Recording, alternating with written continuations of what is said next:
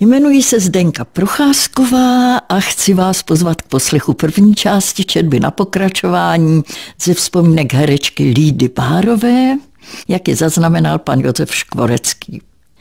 Začínají útěky.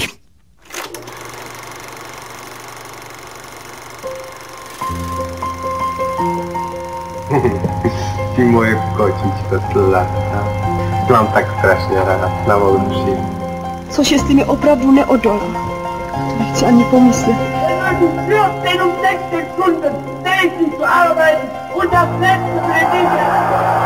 Končí to, končí to.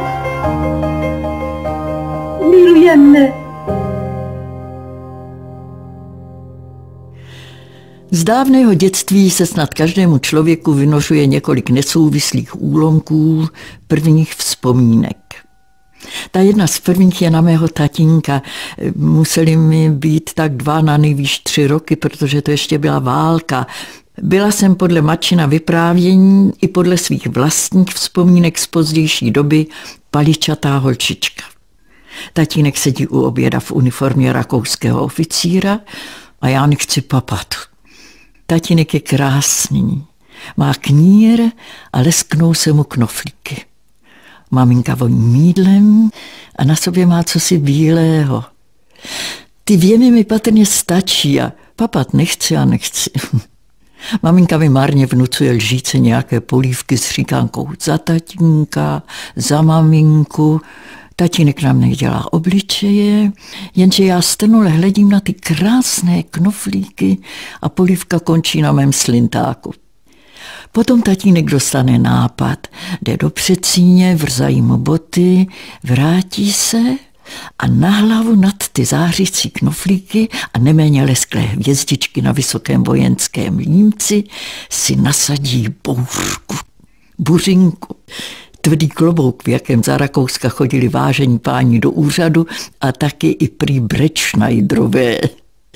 Připadá mi strašně legrační. Dám se do smíchu, maminka to obratně využije a nalevá do mě jednu lžíci za druhou. Já se směju, polikám a tatínek pod komickou bouřkou dělá obličeje. Z buřinky se pak u nás stala pomůcka, jak lidušku donutit papat. Asi se to u mě později proměnilo v podmíněný reflex. Kdykoliv si někdo u stolu nasadil bouřku, okamžitě jsem dostala chuť i na ty nejnevábnější výrobky válečné kuchyně.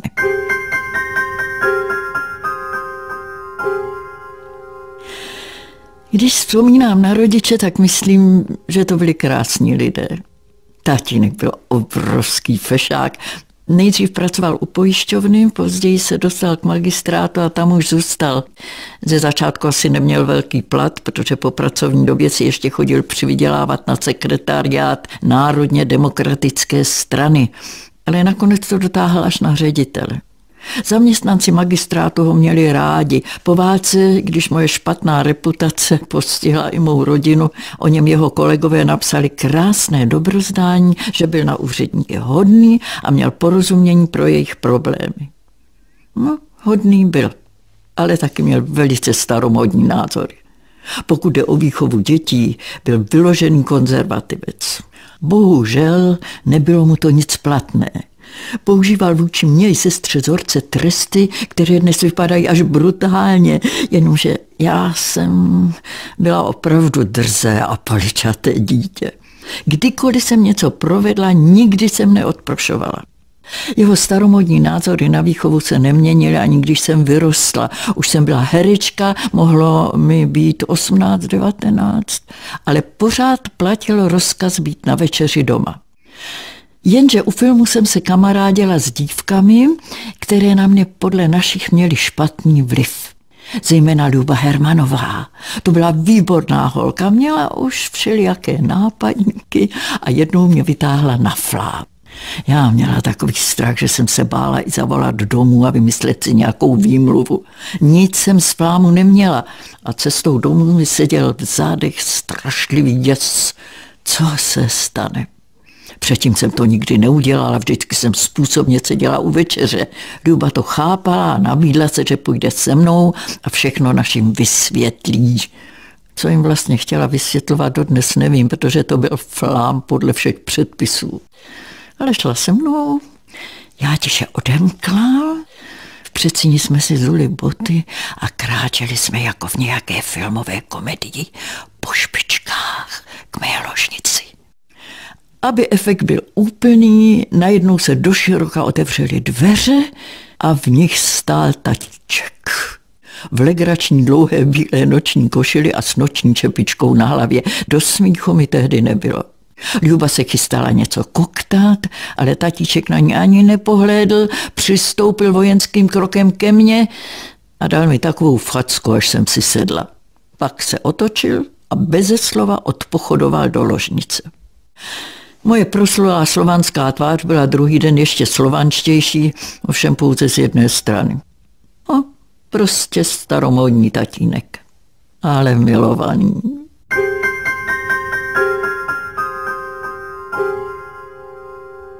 Ani s mámou bych na tom nebyla dnes kádrově nejlíp. Její otec byl snad voják z povolání nebo také četník, já už opravdu nevím. Mám jenom v dětské vzpomínce zase nějakou uniformu, asi kapitánskou, lesklé knoflíky.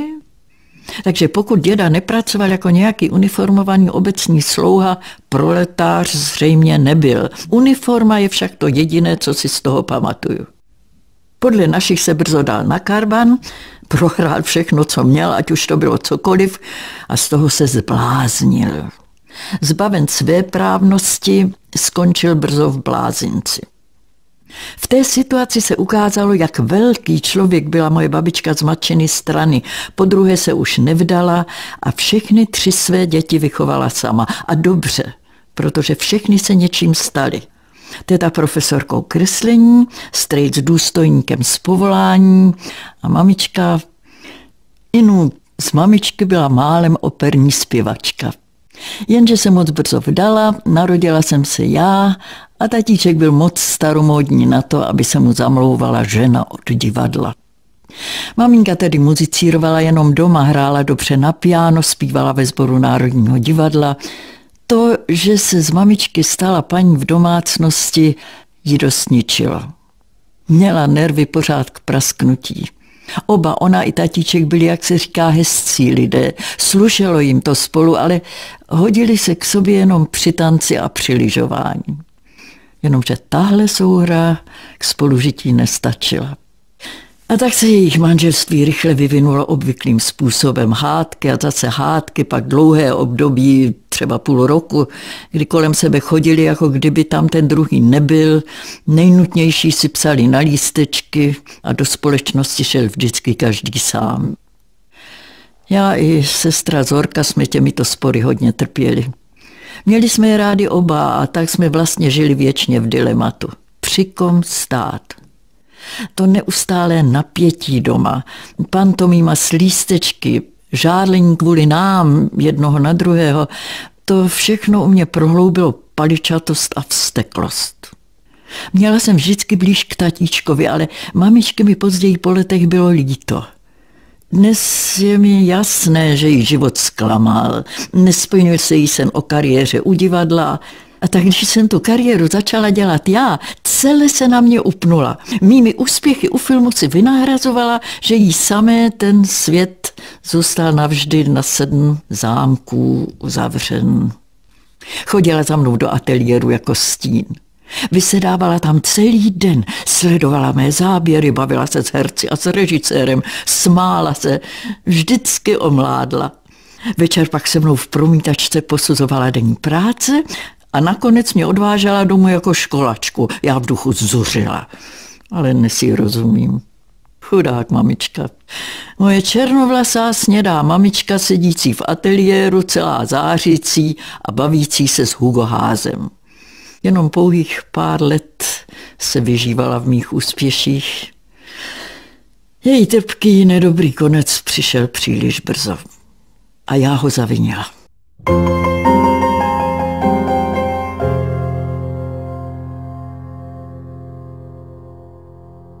Od malička jsem měla výbornou paměť. A pro pobavení rodičů jsem předváděla všechny naše strejčky a tetičky, tatičkova nevlastního bráchu s Charlestonem, dědu, když mě nabádal, abych se mila v potoce a byla krásná. Mamičina brášku oficíra jak rve na vojáky. Naši se tomu chechtali. Potom vždycky zvážněli a peskovali mě. Jenže ne doopravdy. Myslím, že na mě byli hrdí. Herectví prý vždycky začíná takovým opičením, karikováním, vědomým i nevědomým. Teprve pak člověk dospěje k vážné práci. Někomu to zůstane hodně dlouho, ale já se brzy od toho šaškování dostala k vážnému zájmu o divadlo a gymnázium mě přestalo zajímat. V kvartě jsem se rozhodla, že do kvinty už nepůjdu a přihlásím se ke zkoušce na dramatickou konzervatoř. Naši ovšem nechtěli ani slyšet. Já, paličák, jsem ze zoufalství jala vyhrožovat, že se teda přestanu učit a v kvintě na schvál propadnu. Nakonec jsem je umluvila. Jednoho dne jsem tedy stála hodiny a hodiny v tmavé chodbě konzervatoře se 120 jinými kandidáty a všichni jsme prožívali muka nejistoty. Věděli jsme, že přijmou na nejvýš 10-12 lidí. Nakonec nás přijali šest. Mě mezi nimi. Rodiče se s tím smířili a na konzervatoři jsem jim dělala radost. Dokonce jsem jako studentka na zapřenou dostala roli od režiséra Krňanského. Tak jsem tajně v roce 1931 natočila svůj první film Kariéra Pavla Čamrdy. Od samého začátku mi práce v ateliéru nedělala těžkosti, snad proto, že když se skazí záběr, lze jej opakovat. Neměla jsem vůbec tréma, byla jsem jako ryba ve vodě. Režisér si pochvaloval, že hraju přirozeně, bez jevištního afektu, jako kdybych byla už starý filmový mazák. Hraní tedy pro mne nebyl problém. Problém byl, jaké si mám zvolit jméno, aby mě z konzervatoře nevyhodili dřív než po premiéře, kdy to praskne. Jako v životě i ve filmu mě nakonec pokřtil tatínek. V dětství jsme s rodiči jezdívali na Šumavu do Pece pod Čerchovem, kde stál přímo na hranicích krásný bílý hotýlek, který vypadal spíš jako lovecký zámeček a jmenoval se Daliborka. Chodili tam posedět při pivě a při borovičce všemožní umělci, básníci, herci a taky moudře vypadající starý pán, s nímž byl obzvlášť za dobře tatíček. Spisovatel Jindřich Šimon Bár a tak tatíček rozhodl. Bár. Tím se země stala Bárová. Tak začala má sláva, později nejenom umělecká. Ta úspěšná doba obsáhla za deset let od roku 1931 až do roku 1941 31 českých celovečerních filmů a mezi lety 34 až 38 také přes 10 německých. Z toho vyplývá, že jsem točila něco mezi třemi a čtyřmi filmy ročně a byla jsem tedy víc než dost zaměstnaná. K tomu e, třeba ještě připočíst vystupování na divadle. Herci jsou zvláštní lidé. Měla jsem a mám spoustu herců ráda a v jejich společnosti jsem byla vždycky nejšťastnější. Ale chci-li už být sebekritická, a já chci, Nevím, proč bych neměla být kritická i ke svým kolegům, anebo spíš k hereckému stavu jako takovému. Byli mezi námi hrdinové. Několik velmi prominentních německých herců za nacismu například neopustilo své židovské manželky nebo milenky a zachránili jim tím život. Řekněme však obecně, že v herectví a v režisérství je, zdá se, mm, jakýsi prvek, který způsobuje, že vždycky je mnohem víc herců a filmových režisérů ochotných zahnout na každou novou zatáčku, již se ubírá duch doby, než třeba spisovatelů. Proč?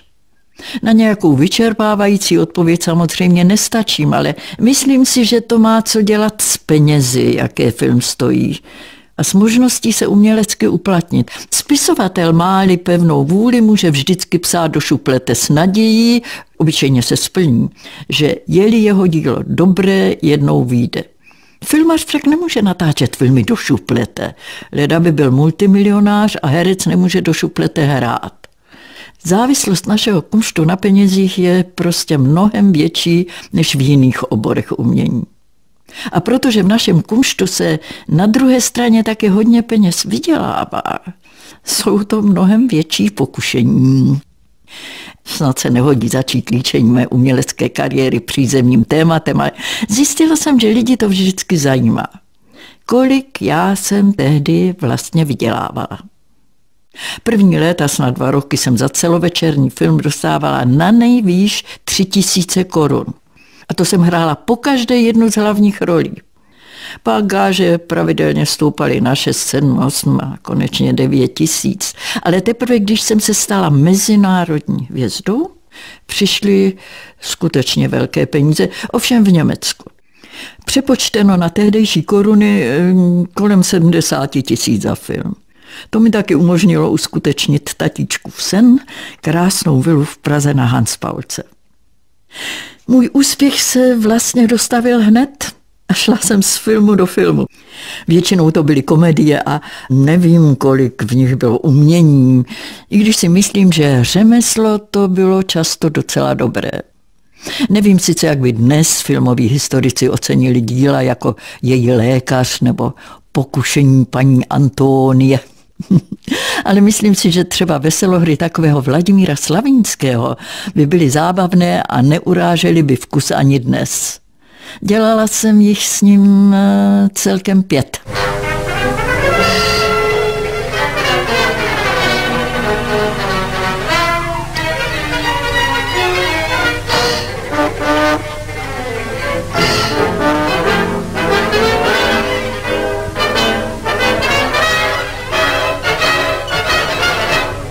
Natáčela jsem také s jiným režisérem, při jehož jménu si každý vzpomene na veselohry. Řadu jich režíroval, mnoha hrál a jméno měl jaksi dobově komediální Mac Fritsch. Jak přišel k tomu skotskému Makovi, nevím, když se jmenoval Martin. Asi to byl výraz sounáležitosti s profesí, která měla anglosaský ráz, americká komedie, jazz, detektivky. Tak se z Martina stal Mak, kterouž to podobu svého křestního jména pak za obou následujících anglosaskému duchu nepřejících režimů diskrétně opustil. Veselohru jsem s ním však dělala jen jednu, Švadlenka, v roce 1936. To se vlastně točilo v německé produkci. Tenkrát už jsem pracovala taky v Berlíně, ale vymínila jsem si smlouvu, podle níž jsem měla dělat čtyři filmy ročně a dva z nich české v Praze. Švadlenka byla komedie z prostředí módních přehlídek s Hugo Házem a myslím, že námět Fričovi seděl. Ale můj velký film v jeho režii Veselohrou nebyl. Jmenoval se Lidé na kře. Byl to, myslím, jeden z prvních českých filmů, které zachycovaly tragedii světové krize. S tímhle filmem se taky pojí vzpomínka na mé jediné setkání s velkým českým spisovatelem Karlem Čapkem. Přišel se jednou podívat na natáčení se svou ženou, herečkou Olgou Šajnflugovou. Ta mě znala, protože jsem hrála ve dvou filmech podle jejich námětů a tak šla rovnou ke mně a pozdravila Dobrý den, paní Bárová. Nějaký snaživý poskok šeptnul takovým tím jevištím šepotem Slečno Bárová. A paní Olga se zatvářila přísně, změřila si ho a odpověděla mu, že když je někdo v tak mladém věku už ve filmu osobnost, je to pro ní paní Bárová. S Fričem jsme si rozuměli, ale k ničemu mezi námi nedošlo. My jsme z toho, že jsme si sympatičtí nedělali žádnou vědu, ale to u mě nikdy neznamenalo, že by se taková sympatie měla nebo musela pečetit ještě nějak tak, jak se to, mám dojem, dost běžně dělá dnes. Ne, že by se to tehdy taky tak nedělalo, ale málo platné. Moje přísná výchova zatím přece jen působila. Byla jsem prostě dobře vychovaná dcerunka z lepší rodiny a to vůbec nemyslím nějak posměšně. Ovšem Lílii jsem zas příliš dlouho nezůstal. A odehrálo se to rovněž v rámci mého filmařského řemesla. Na Barandově připravovali v roce 1932 komedii Lelíček ve službách Sherlocka Holmese. Hlavní roli hrál Vlasta Burian, už tehdy nepochybný král českých komiků a tak chtěl producent věc svěřit do rukou opravdu prvotřídního režiséra. Pozval si na to z Paříže Karla Lamače. Ten byl a zůstal v pravdě mezinárodním režisérem a to rozeným režisérem komedií. Měl sám i herecký talent a kdykoliv v Praze režíroval, hleděl si taky zahrát.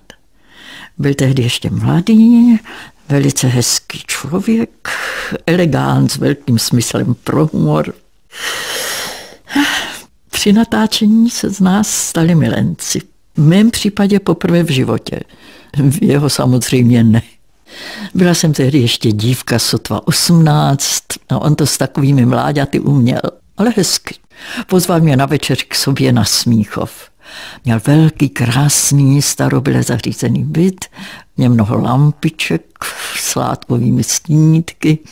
No, tam k tomu došlo. Ani nevím jak. Úplně samozřejmě, něžně a popravdě řečeno z jeho strany asi také odborně. Ačkoliv jsem byla z domova řádně vedená, neměla jsem nejmenší pocit nějakého provinění, naopak, spíš příjemného uspokojení. Že konečně vím, že jsem žena, že jsem konečně poznala, co je vlastně láska a s takovým milým člověkem, velkým režisérem, šarmantním gentlemanem. Prostě tak by se to mělo stát každé mladé holce. V tom jsem měla veliké štěstí.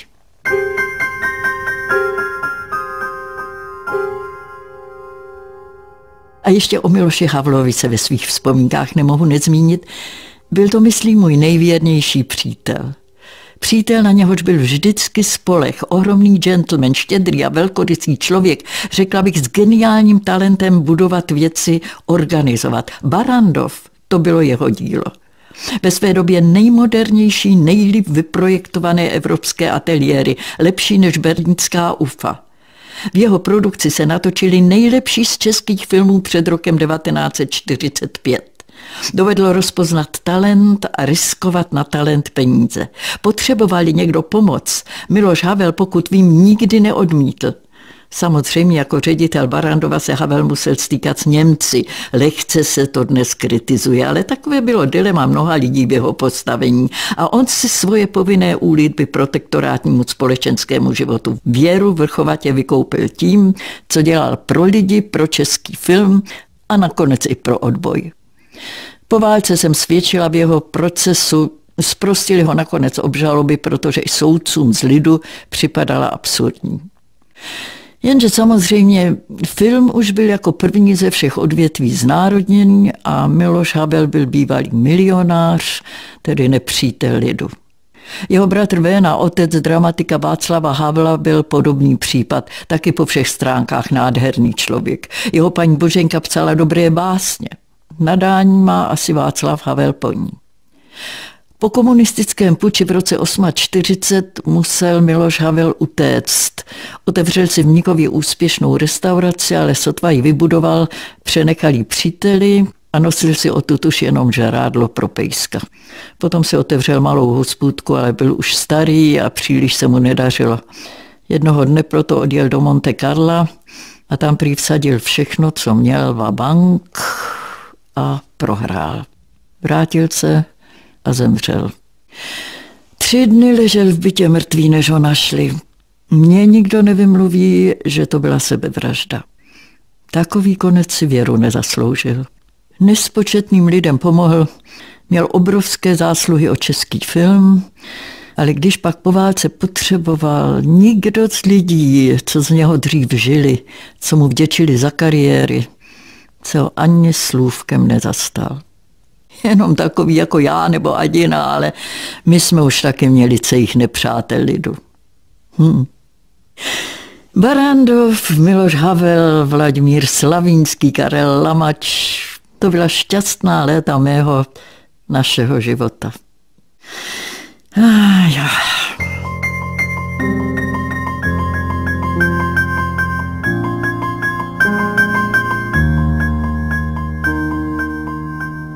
Tímto povzdechem pro dnešek uzavírám knihu vzpomínek herečky Lidy Bárové. končí první část četby na pokračování z knihy Josefa Škvoreckého Útěky. Pro rozhlasy upravila Ivana Pustějovská, technicky spolupracovali Roman Špála, Daniela Sochorová a Jiří Vavda. Hudebně spolupracoval Jiří Pochvalovský, režim měl Michal Bureš a naslyšenou příště se na vás těší Zdenka Procházková.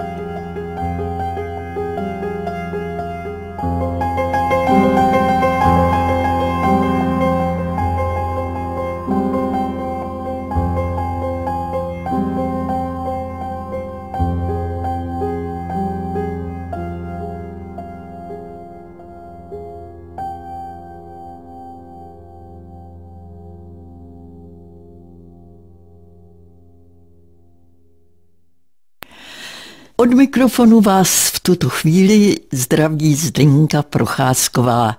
Dámy a pánové, ráda bych vás pozvala k poslechu druhé části četby na pokračování ze vzpomínek herečky Lídy Bárové, jak je zaznamenal pan Josef Škvorecký.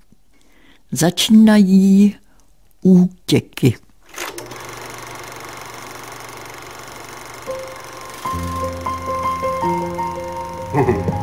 ty moje kočičko sladká. Mám tak strašně rád na Volruši. Což jestli mi opravdu neodolá. To nechci ani pomyslet.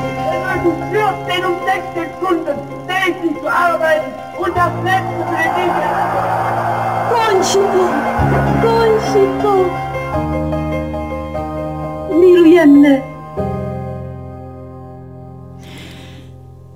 Moje neštěstí tehdy jsem si myslela, že štěstí se jmenovalo UFA. To byla ve 30. letech největší německá a myslím je evropská produkční firma. Točila filmy po celé Evropě a taky v Praze. Celá řada mých českých filmů byla vlastně financována z Německa. Vedoucí české filiálky UFI v Praze byla impozantní a sympatická dáma, paní Poprová, která si sice dávala záležet na tom, aby moje gáže nebyly zrovna astronomické, ale jinak se stala mojí druhou maminkou.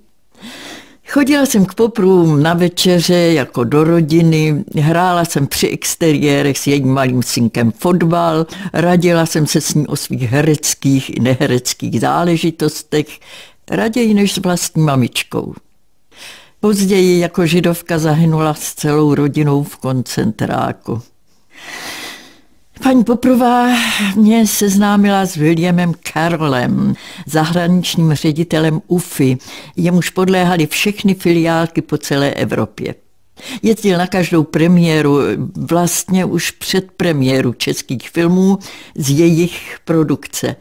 A protože moje matka uměla výborně německy, posadili ji vždycky vedle něho a z druhé strany jsem seděla já. Moje Němčina byla asi tak, no, na dvojku v terci. On tedy radši mluvil s mámou a nejen mluvil, docela zdatně s ní koketoval, což jí přirozeně lichotilo. Přitom jí ale vyčítal, že mě nevede k tomu, abych se naučila pořádně německy. Na mámu měl vliv, proto se rozhodla, že se zařídí podle jeho rady a vyjednala mi pobyt v Berlíně u jedné paní, k níž jsem potom jezdila v přestávkách mezi dvěma barandovskými filmy. Učila jsem se, ale na nějakou německou kariéru jsem se tehdy neodvážila pomyslet. Až na jaře roku 1934, zrovna jsem na Barandově natáčela nějakou komedii, jednoho dne se náhle v ateliéru objevila máma s telegramem od Kerola. Máme hned přijet do Berlína dělat zkoušku pro nový film Bar Karola. Produkce nám zaplatila lůžkový vlak do Berlína a ještě v noci jsme jeli. Podobný telegram dostal také Rolf Vanka, výdeňák, populární v českých filmech a na cestu se vydal společně s námi. Já i Rudolf jsme byli strémovaní, celou noc jsme oka nezamhouřili a ráno před sedmou hodinou jsme nevyspalí, stáli před zavřenými vraty ateliéru. Teprve po dlouhé době se objevil portýr a ptal se, co chceme. Máma mu řekla, že jsme přijeli dělat zkušební snímek, portýr nám otevřel a zavedl nás do šaten. Měla jsem strašlivý strach. Už jen proto, že mě maskér líčil úplně jinak, než jsem byla zvyklá z Prahy. Ale všechno šlo raz na raz. Navlékli mě do krásných šatů, na hlavu mi posadili klobouk a už jsem stála před kamerou a vedle mě Rolf Vanka, adept na hlavní mužskou roli. V záběru, který s námi dělali, mě má okouzlovat, hledět mi dlouze do očí a pravit wer A sagt, muss auch B sagen. Tedy kdo řekne A, musí také říct B. Já mám v té scéně slastí omdlívat, rovněž se mu dlouze koukat do očí a říct B. Rolfovi to nedělalo že jeho vídeňská Němčina zněla nádherně a tak tu větu absolvoval bezvadně. V ateliéru bylo pochopitelně hrobové ticho. Jednak musí při natáčení vždycky být, jednak byli všichni zvědaví na tu novou holku z Prahy. A ta holka se podle režisérova pokynu dlouze zahleděla do Rolfových očí a potom vydechla B jako když zabečí ovce. Proti všem předpisům zaburácel ateliérem smích a já nevěděla proč. Zrudla jsem a opravdu se o mě pokoušeli mdloby. Bylo to tou mou Němčinou. Neuměla jsem vyslovit měkké německé i. Zkoušeli jsme to několikrát, ale nešlo mi to, nešlo mi to, až to vzdali. Natočili pak asi dvě nebo tři jiné scény, potom Rolfa odstavili a udělali několik němých záběrů se mnou, tvář z různých úhlů a taky postavu. Na to nám řekli, že v Berlíně musíme zůstat do večera, když se podíváme na vyvolanou metráž v předváděčce. Strávili jsme s mámou a Rolfem neklidné odpoledne ve všemožných berlínských hospodách a večer jsme se s tlukoucím srdcem vrátili do ateliéru. V promítačce se schromáždilo celé ředitelství UFI a já si říkala, no nazdar, teď už mě může zachránit jenom můj kukuč. Což se, myslím, taky stalo. Po promítání dali pánové hlavy dohromady, dlouho si něco šeptali a pak se optali jisté učitelky Němčiny, zda je schopna mě do tří týdnů připravit tak, abych zvládla text. Řekla ano. Ještě tu noc jsme jeli s mamičkou zpátky do Prahy, protože ráno se musela být v ateliéru na Barandově a zase jsem nespala. Už ne trémou, ale vzrušením. Kdybych byla věděla, co mě v Berlíně čeká, nespala bych spíš růzou. Naštěstí, nebo na neštěstí, člověku není dáno vidět do budoucnosti.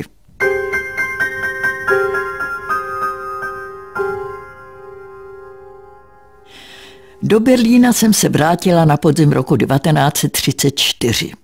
Najali jsme si s mámou byt v penzionu na Kurfürstendamm a já se oddala přísnému režimu. Snídaně se stávala z jednoho celého jablka pak dopoledne čtyři hodiny u paní učitelky Hánové, v poledne domů na oběd, jenž se stával z celého jablka, odpoledne další čtyři hodiny Němčiny, večer domů na večeři, o jediném chodu jedno celé jabko. Proč ta špatná výživa? Pánové z UFI totiž usoudili, že kromě vat v Němčině jsem na roli Italky přece jen trošku slovansky boubelatá a já proto hladověla jako jockey před Grand Prix. A vydržela jsem to. Zlikvidovala jsem do jisté míry svou boubylatost a německy jsem po těch třech týdnech mluvila jako učebnice. Doslova, jako učebnice. Když mě slyšel režisér, zmlkl a dlouho mlčel. Vypadalo to bledě. Tím spíš, že chudáka Rolfa Vanku nevzali, protože ani jeho dokonalá Němčina se jim nelíbila. Nahradil ho Gustav Fröhlich. Právě on byl od školních let moje filmová, tedy samozřejmě platonická, velká láska. Každý film s ním jsem viděla nejméně dvakrát, spíš třikrát. Sněla jsem o něm, jak jen mladé holky snít dovedou. Když jsem jezdívala do Berlína učit se německy a kolem okna mého kupé ujížděly vilky na berlínských předměstích, představovala jsem si, jak v té nejhezčí žiju jako milující manželka s Fröhlichem. Myslela jsem si, že je to nesplnitelný sen. Prvních pár dnů se natáčely jenom scény s Frölichem a já se dívala. Nejdřív dělal, že ho nezajímám, ale asi po dvou dnech se mě zeptal, jestli bych s ním v sobotu nešla do opery. Z opery nakonec sešlo a skončili jsme u mě. Hm. Byla jsem šťastná.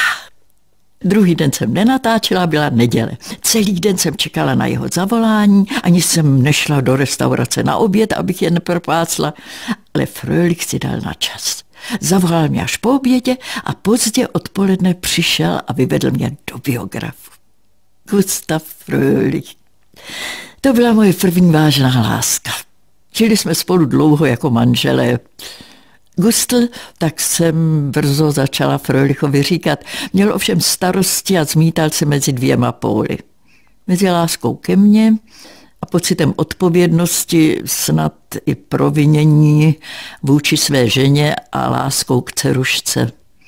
O rozvodu mluvil sice už předtím, než jsem do jeho života vstoupila já, ale doopravdy o něm uvažoval teprve poté, co jsme se do sebe zamilovali. Povzbuzovala jsem ho, dávala jsem mu ve všem plně za pravdu. Jeho argumenty mi připadaly přesvědčivé a jeho ženu jsem jako každá správná milenka neměla v lásce. Zdálo se mi, že po něm požaduje nemožné a že on má taky plné právo odejít od ní. Dnes v odstupu skoro 40 let dokážu její stanovisko samozřejmě chápat. Zápasila o slavného muže. Naléhala, aby se přestěhovali do Budapešti, odkud pocházela a když namítl, že neumí slovo maďarsky a v Budapešti by se svým řemeslem neuživil, odpověď možná nevyřčená zněla máme dost peněz, nemusíš pracovat. Jenomže Gustl byl velká filmová hvězda, stál na vrcholu kariéry a nedokázal manželčiny argumenty pochopit. Spíš možná mohla ona pochopit jeho, jenže... Mhm.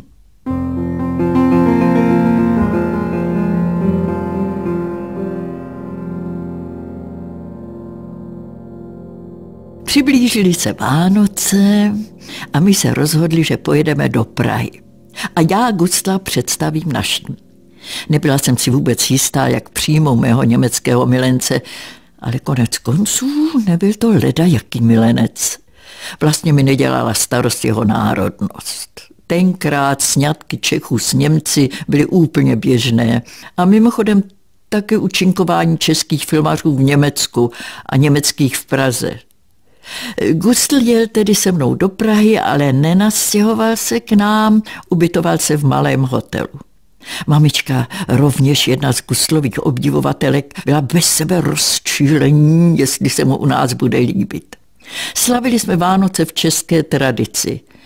Večer se však příliš nevyvedl. Gustl byl sice slavný, rodičům to jistě lichotilo, jenže to byl cizinec a neznal české koledy.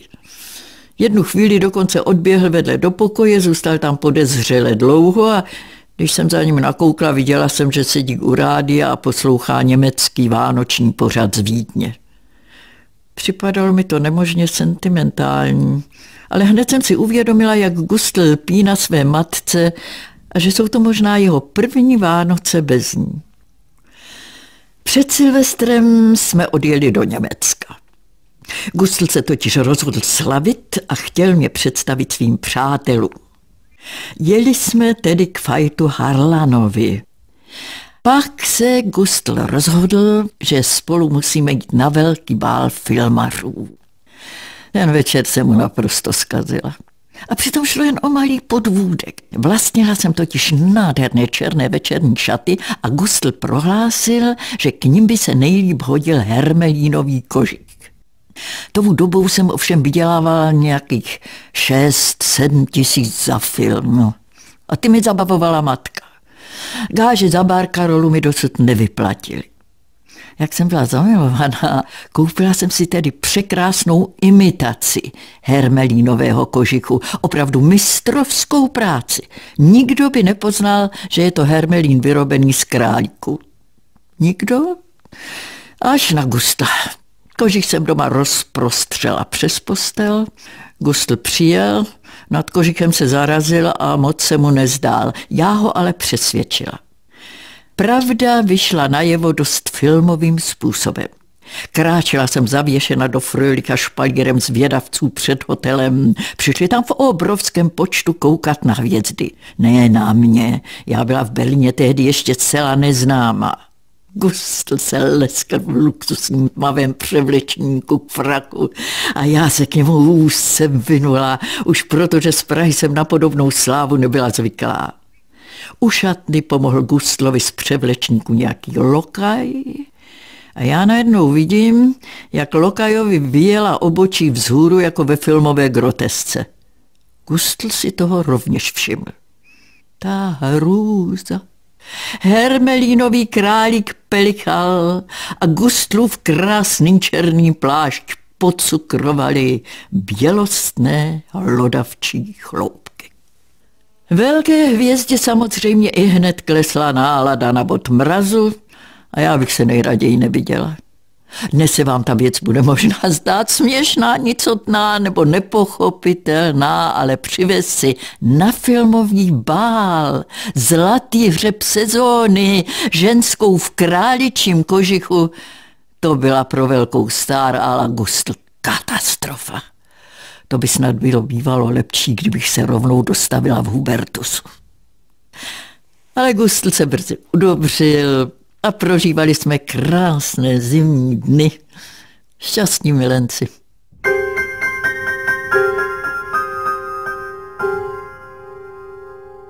Barkarola spěla ke konci, až jednoho dne skončila a šla do střižen. Měli jsme před sebou měsíc volna a na to další společné angažmá v Vídni, kde se chystalo natáčení nového filmu. Dostala jsem od UFI svolení přijmout v něm roli. Domluvili jsme se, že strávíme 14 dní v Davosu. Nakonec se všeho málem sešlo. Někdo Gustlovi namluvil, že celá moje kariéra byla přes postel.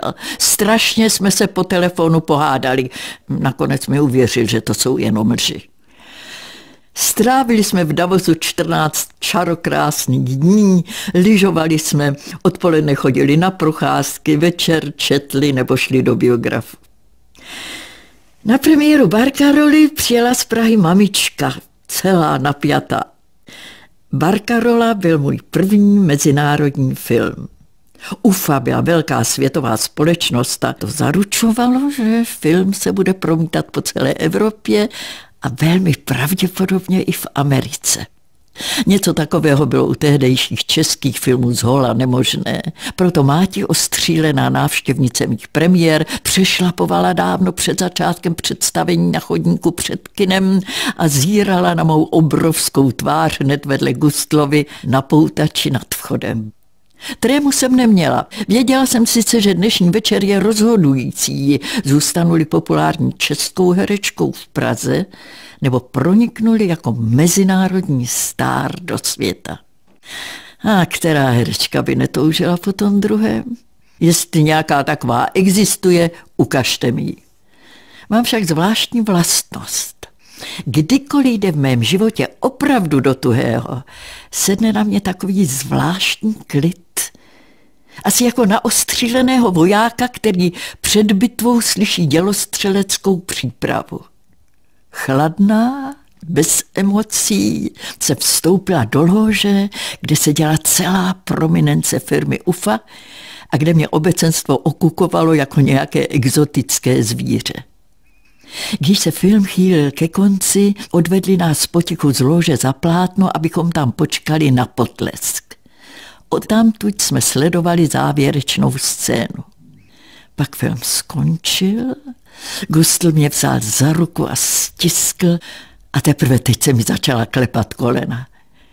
Ticho po závěrečném ende se mi zdálo nekonečné.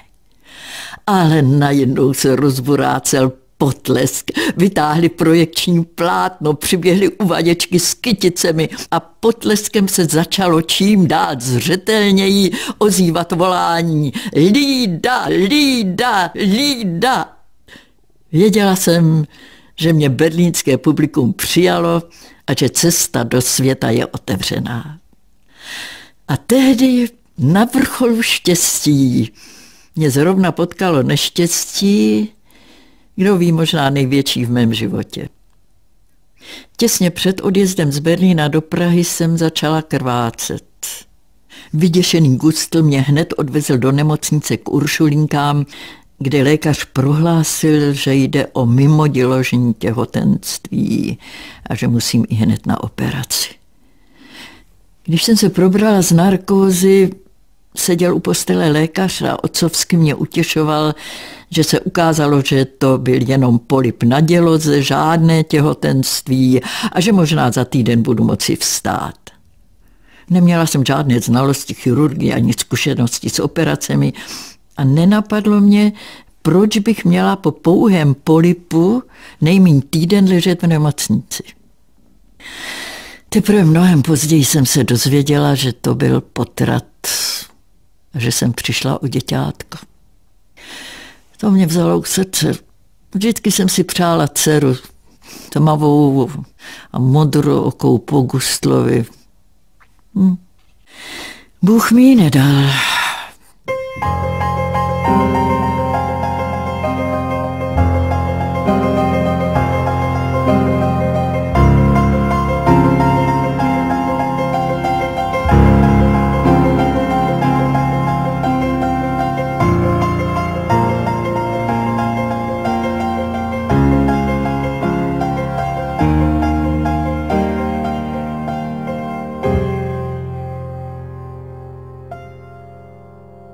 Vrhla jsem se znovu do práce.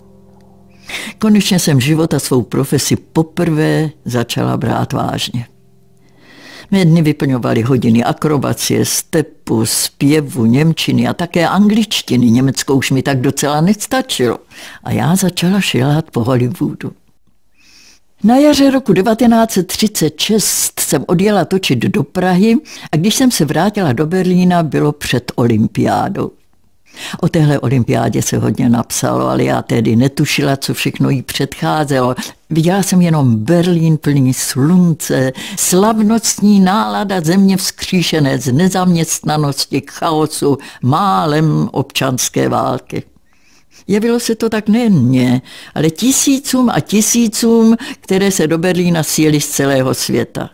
Měli jsme lístky na všechny olympijské podniky a kdykoliv natáčení dovolovalo, lítal se mnou Gustl ze stadionu do plavecké haly a z plavecké haly nad stadion. Nejraději bychom byli viděli všechno.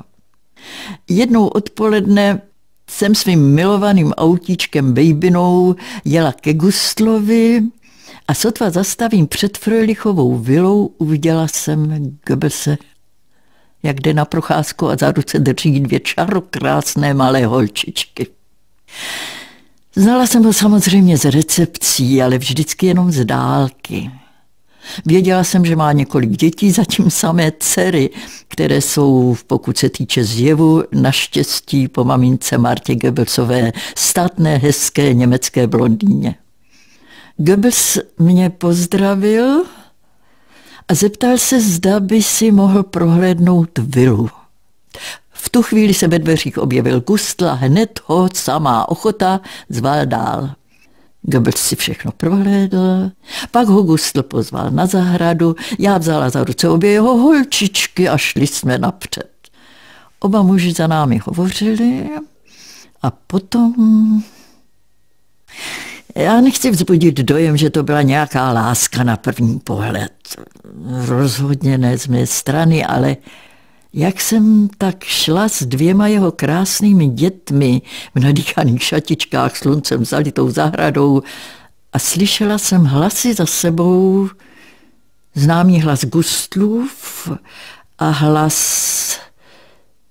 Bylo mi, jako by mi ten hlas jel po zádech jako by se proměnil v měkkou, teplou dlaň. Zachvěla jsem se. Stiskla jsem ruce oběma holčičkám a rozběhla se s nimi k břehu jezera. Bylo mi jako uhranuté. A podvědomě jsem tušila, že tohle dnešní setkání nezůstane bez následků. Nemusela jsem na ně dlouho čekat. Už za pár dnů přišel první z dlouhé řady telefonátů, které mě měly pronásledovat po celé dva příští roky. Volá Ministerstvo propagandy.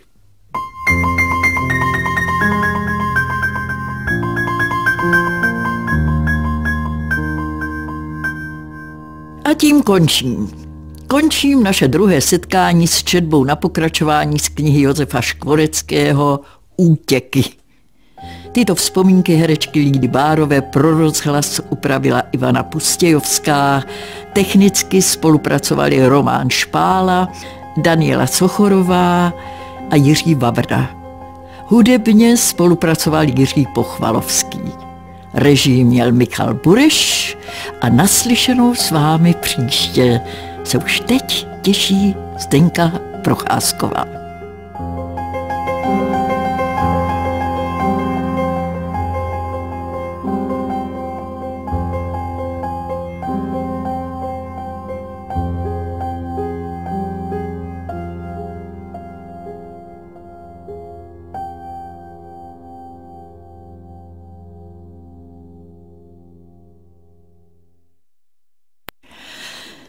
Tuto chvíli se s vámi už po třetí chci začíst do vzpomínek herečky Lídy Bárové, které pod názvem Útěky zaznamenal pan Josef Škvorecký. Příjemný poslech vám přeje Zdenka Procházková.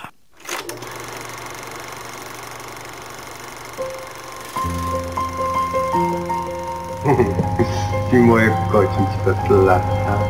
Mám tak strašně rád na Vodruši což jestli mi opravdu neodolá. To nechci ani pomyslet.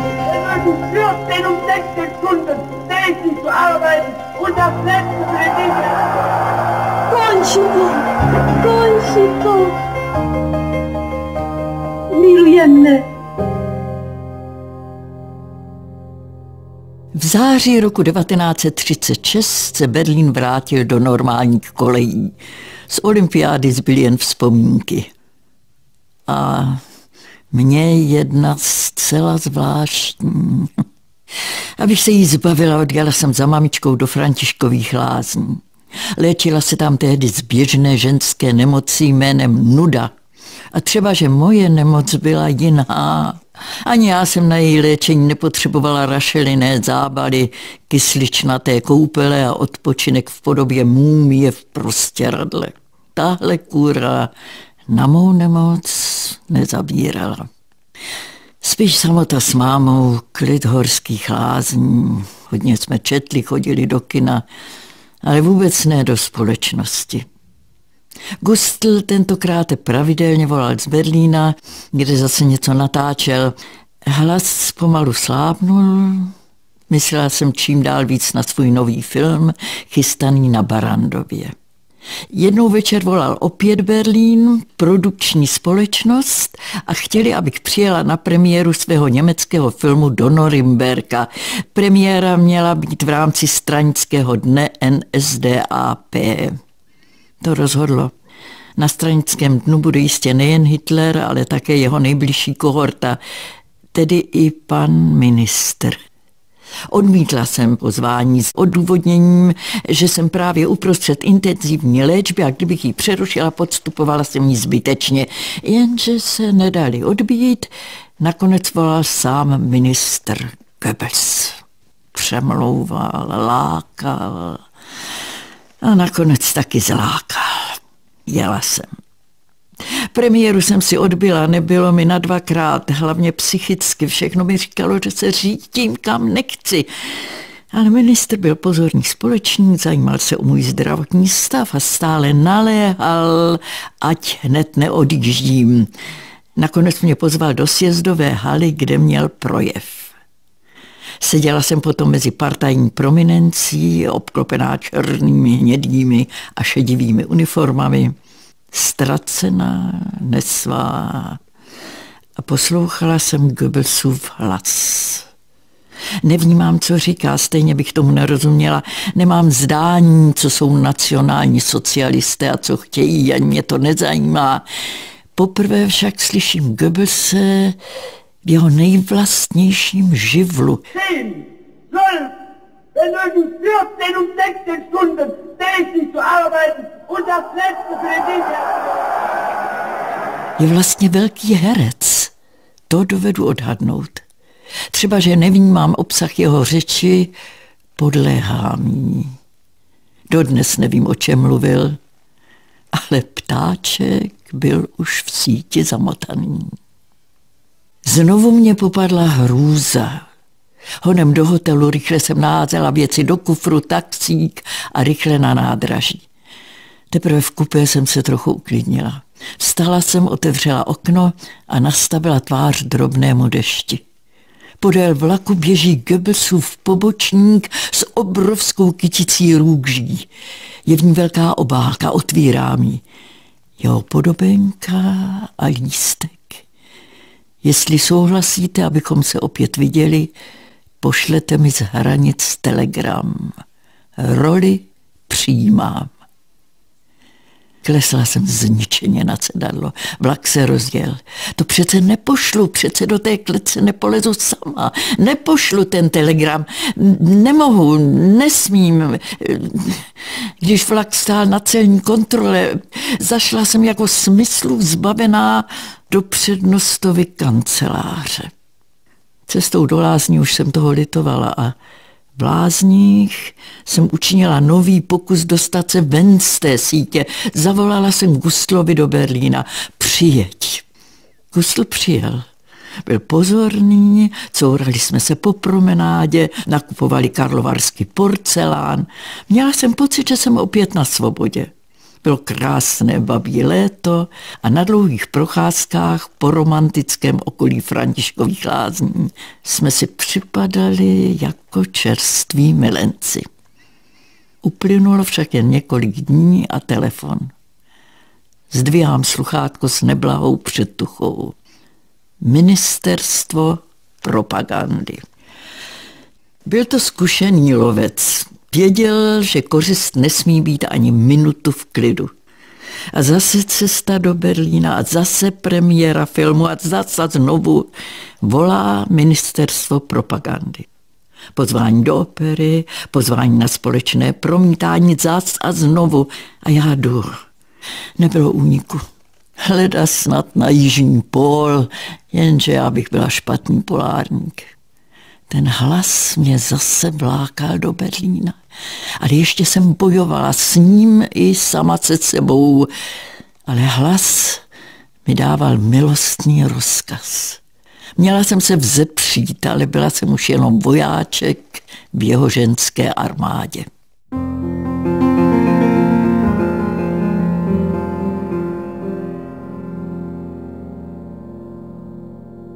Jaký byl Goebbels vlastně člověk. Řekla jsem už, že to byl vlastně velký herec, ale stejně dobrý vypravěč. Když mi povídal o svém mládí, znělo to jako román.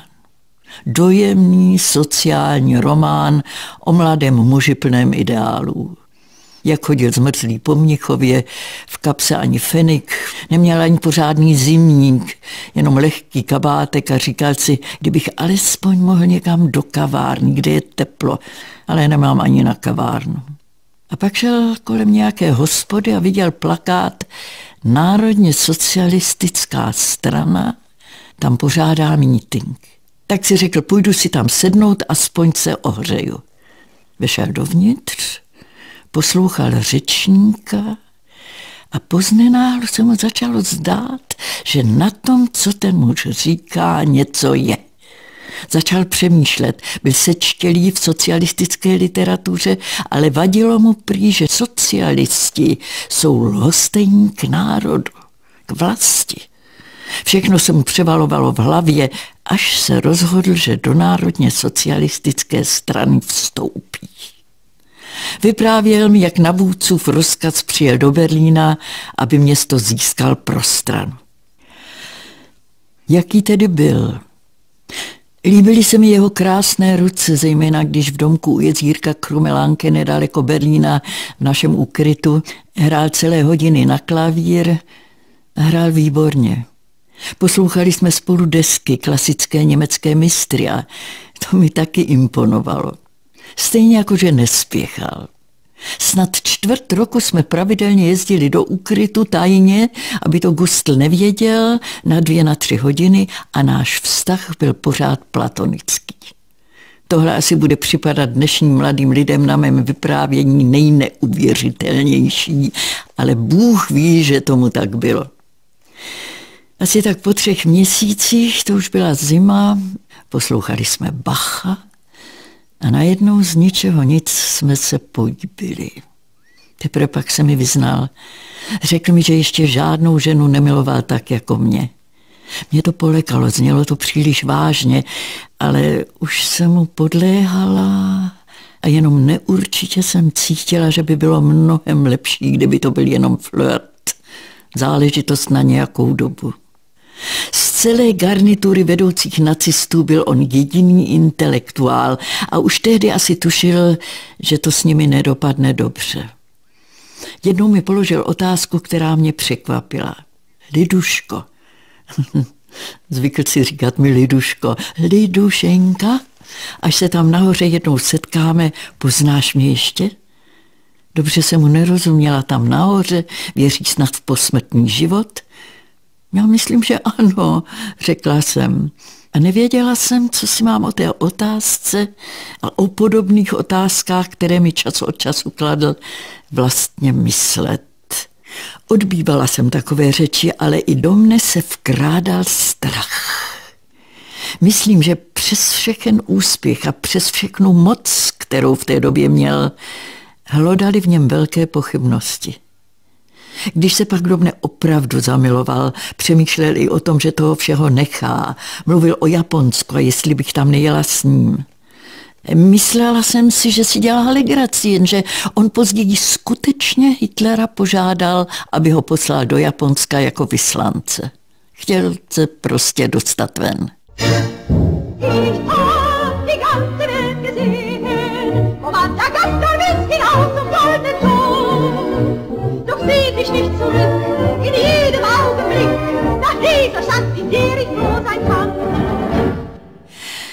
Když o nás švitořili už i vrabci na berlínských střechách, začal konečně něco tušit také Gustl.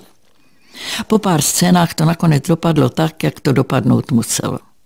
Rozešli jsme se.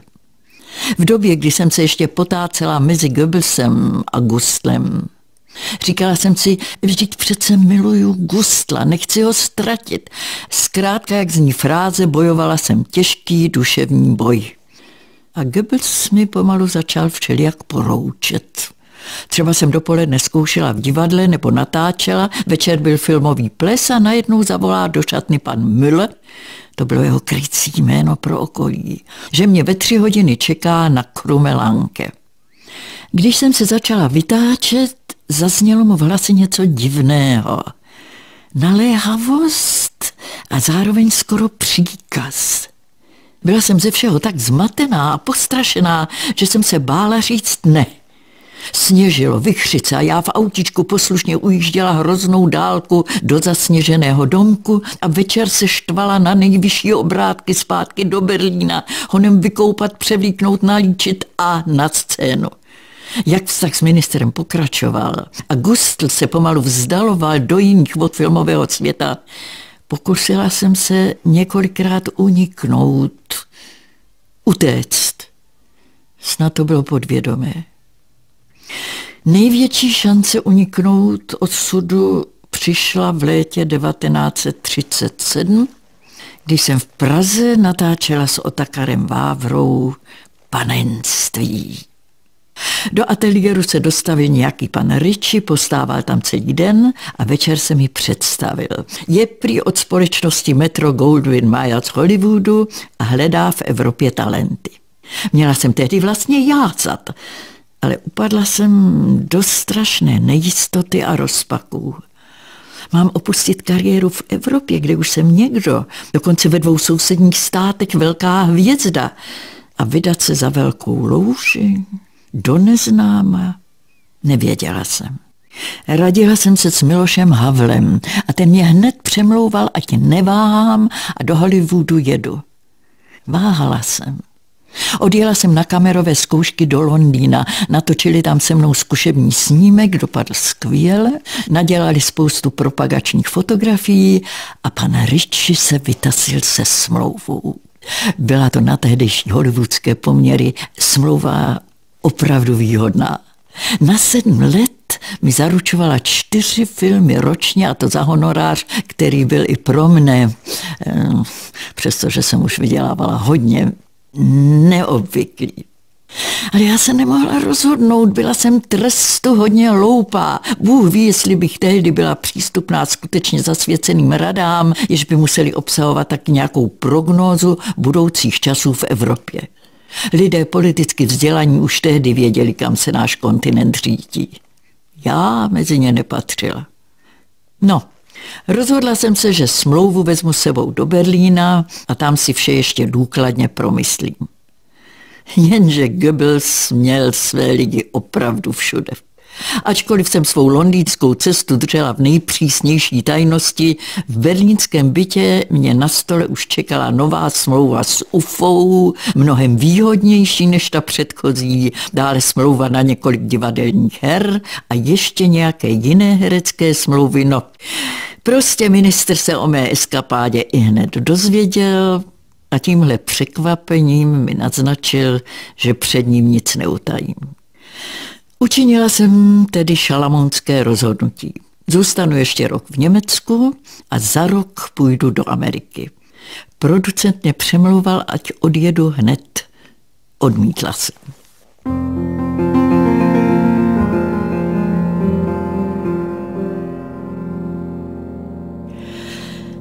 Po hollywoodské epizodě se poměr mezi mnou a ministrem změnil. Jeho láska byla egoistická, přisvojovačná, poroučivá a pro mě čím dál tíživější. Tak tíživá, že mi někdy vypověděli nervy, službu a místo klavíru se v hudebním salonku jeho domu ozývala hádka. Občas vyvrcholila tím, že jsem s prohlášením, že je mezi námi konec, práskla dveřmi a odjela. Potom se několik dní neozval a já trucovala. Dlouho to však netrvalo. Většinou pozdě v noci zavolal a následoval dlouhý, únavný rozhovor, jenž mi rval srdce a nervy. Minister mluvil a mluvil, jeho hlas jako vždy měnil v ruku, která mi jezdila po zádech, ale ne už, aby mě hladila, elektrizovala, ale aby mě trýznila. Věděl dobře, že musím vše vstávat, je do ateliéru, vypadat tam svěží a půvabná, celý den pracovat. Tomu bylo jedno. Brzo jsem byla z jeho věčných žádostí a rozkazů strašlivě unavená. Ano, z rozkazů. Už neříkal, jako když ptáčka lapali, nechtěla bys večer přijet. Vždycky jen prosím večer přijet. To znamenalo 20 kilometrů do Krumelanke a ráno vstát o hodinu dřív, v pět, absolvovat těch 20 kilometrů zpátky, převléct se, vykoupat a do ateliéru. Jistě byla jsem mladá, zdravá, ale někdy jsem sebou v přestávce mezi natáčením sekla do trávy a v tu ránu jsem byla v limbu jako voják na pochodovém cvičení. Jindy jsem se chtěla vzepřít, prasknout dveřmi definitivně, bylo to jako dobré předsevzetí, že člověk přestane kouřit. A tak jsem zanedlouho už zase ujížděla směrem na Krumelánke, v slzách v steku. A s pocitem, že ho nenávidím, ale jela jsem. Jela.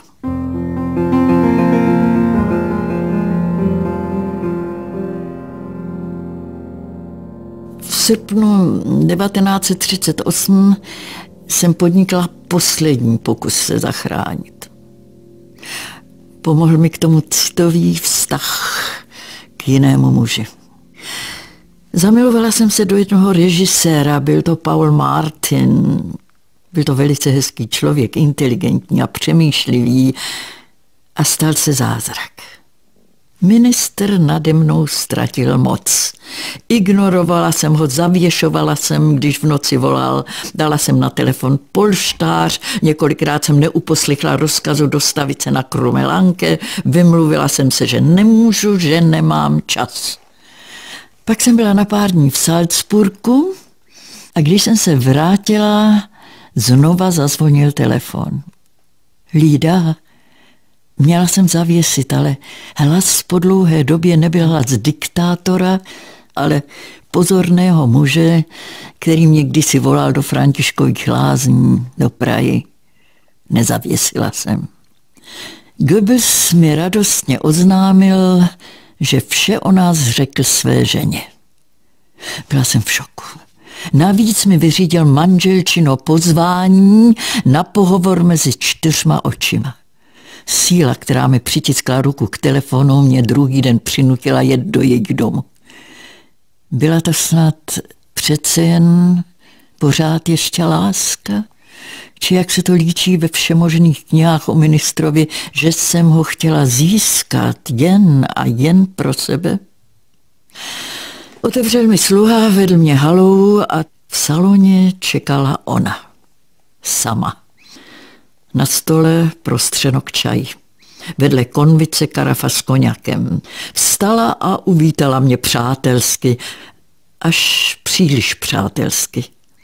Její šedomodré oči se pod krásně upraveným účesem divně leskly. Pohlédla jsem na karafu.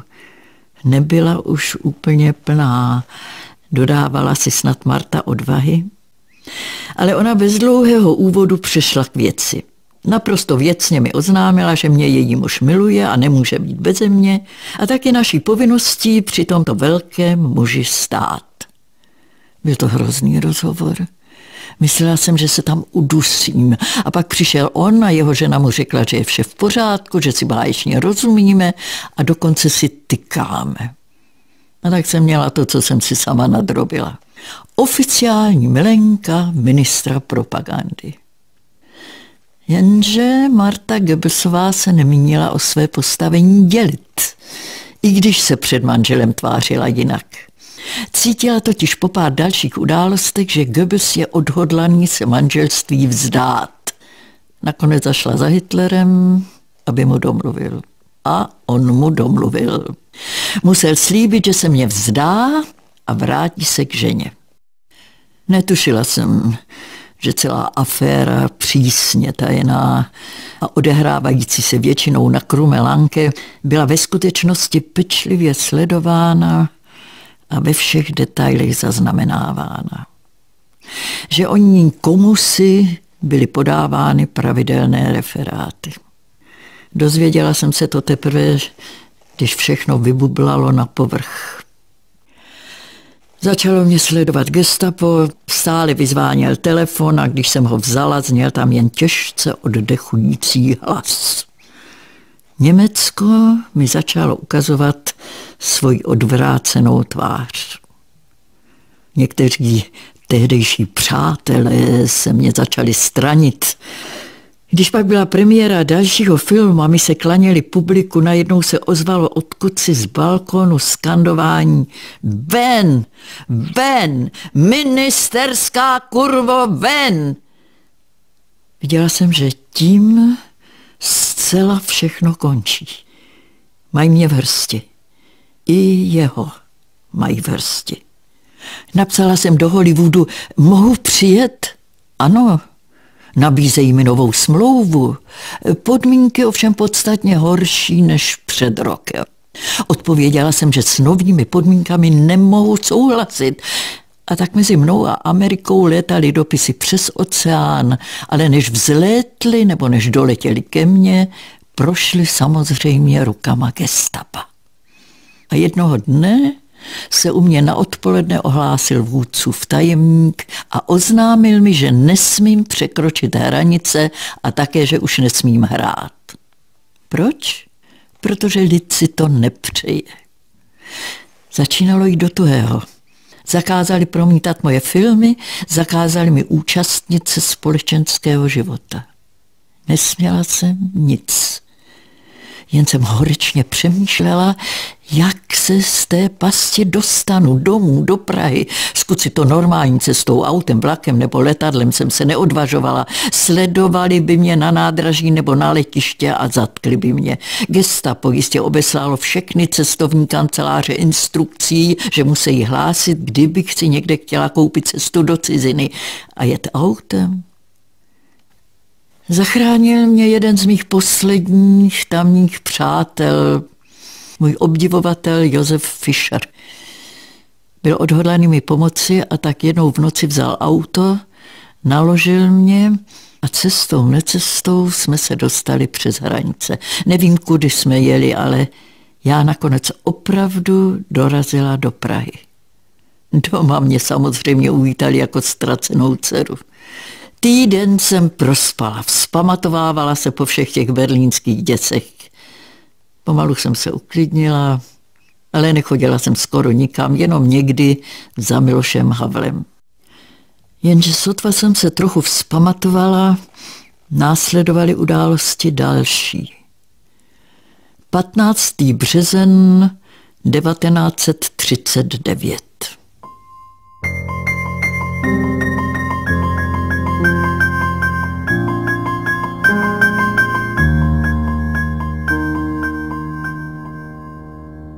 končí třetí část četby na pokračování z knihy Josefa Škvoreckého Útěky.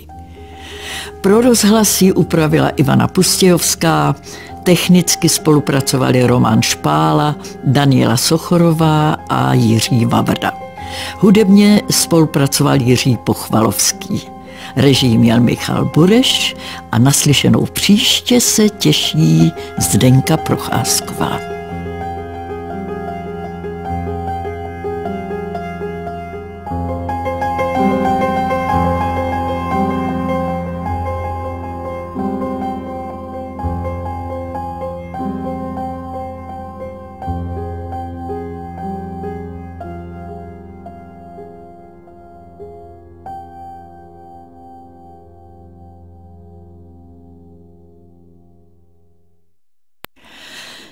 Pokud patříte mezi naše pravidelné posluchače, pak víte, že dnes už po čtvrté budeme v následující půlhodině listovat vzpomínkami herečky Lídy Bárové, které zaznamenal pan Josef Škvorecký.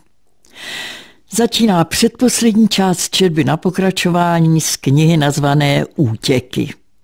Číst vám z ní bude Zdenka Procházková.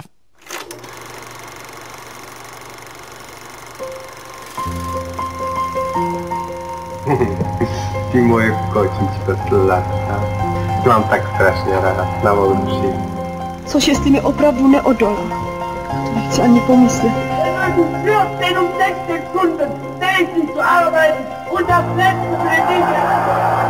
Končí to, končí to. Miluje mne. Pronásledovali mne obavy a tíseň.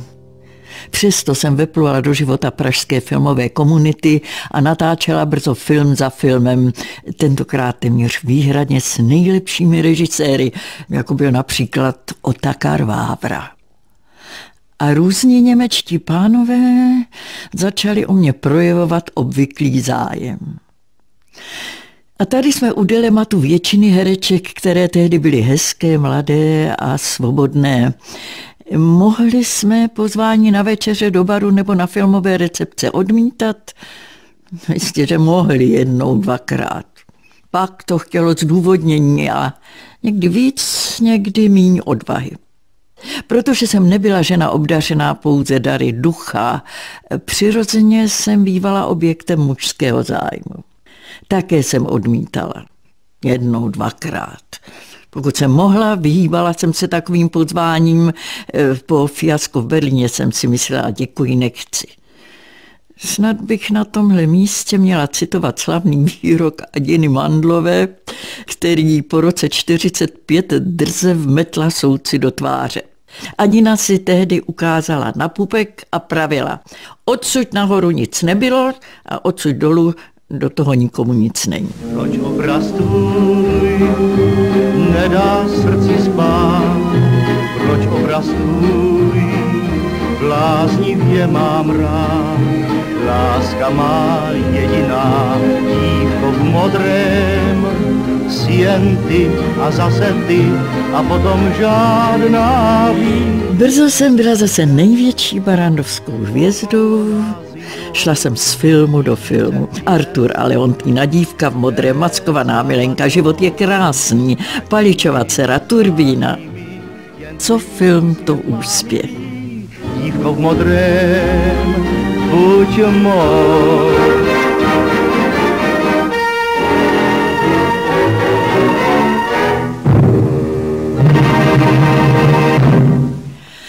V Německu jsem se samozřejmě už na plátně objevit nesměla. Za to mě ale znovu dalo příležitost České divadlo. Jako často v mém životě sehrála i tentokrát svou velkou roli náhoda. Zorka, moje sestra, která stála na počátku své krátké kariéry, onemocněla právě když ji obsadili do vědiře Lady Vindamírové v zájezdovém divadle ředitele Čínského. Chtěla jsem sestře pomoct a naučila jsem se její hlavní roli za jednu noc a odjela hrát do Pardubic. Po velkém úspěchu mi ředitel Jičínský nabídl roli dámy s kaméliemi. Přijala jsem ji. Na jedno představení se dostavil intendant Pražského národního divadla a okamžitě z toho byla další role v Sheldonově romanci. Těšila jsem se na Národní divadlo, ale opět se mi přilepila smůla na paty. Po šesti představeních přišel zákaz hrát americké autory a romanci stáhli. Učinkovala jsem však na Národním divadle dále ve hře o slavném českém malíři Josefu Mánesovi v roli jeho velké lásky Josefínky. Slavila jsem také úspěchy v českých filmech, ale dobře mi nebylo. Kolísala jsem mezi strachem a pokusy zapomenout. Připadala jsem si nejistá, izolovaná, osamělá. Potom z ničeho nic přišel poslední úder a zrovna z úst nejmilejšího přítele. Z jara 1941 mě zavolal k sobě do kanceláře Miloš Havel. Domnívala jsem se, že si chce pohovořit o mé roli v nočním motýlu, na který uvolnil neobvykle mnoho peněz. Ale hned jak jsem vstoupila, cítila jsem, že něco není v pořádku. Miloš mě s ustaraným obličejem vyzval, abych si sedla a přinesla láhev koněku. Alkohol, zejména kvalitní, byla v těch dobách vzácnost, už i na Barandově. A já věděla, že je opravdu zle. Řekl mi, že mu zakázali mě dále obsazovat. Přímo z Berlína. Neposlouchala jsem, co povídá, v hlavě mi hučelo, tonoucí se chytá stébla. Den předtím jsem se dozvěděla od Otakara Vávry, že mě chce do role ve svém novém filmu Turbína. Věděla jsem, že Vávra si od toho projektu hodně slibuje. Film nenatáčela společnost Miloše Havla, ale konkurence. A protože zákaz zatím platil jen pro Lucerna film, Vávra a společnost Nacionál film zariskovali a obsadili mě. Jenže brzy se to rozkřiklo. Nakonec mě tento film nechali dodělat. Lidé z Barandova se mi ale začali vyhýbat. Chodila jsem dál do Lucerna baru, ale připadala jsem si tam nesvá. Poprvé mě také napadlo, co se mnou vlastně bude po válce. Ale takové myšlenky jsem zaháněla. Nic jsem přece neudělala. Nic politického. Nekolaborovala jsem. Hrála jsem v německých i v českých filmech, v českém divadle. Nikdy jsem nevystupovala jako Němka, dokonce jsem odmítla stát se německou občankou v době, kdy nebylo nic našího. Trvala jsem taky na slovanské koncovce svého jména, ačkoliv můj pseudonym by zněl přirozeně německy. No, byla jsem milenkou ministra. Ano, to jsem byla. Pode mnou hučela jarní Praha. Zatemněná, ale svítil měsíc, čarokrásný výhled přes dosud nezastavěnou stráň pod mojí vilou na Vltavu, Hračany a dál až na Mírové náměstí. Moje rodné město, svědek mých začátků, mé stoupající vězdy. Teď svědek krachu a Bůh ví, čeho ještě v budoucnosti.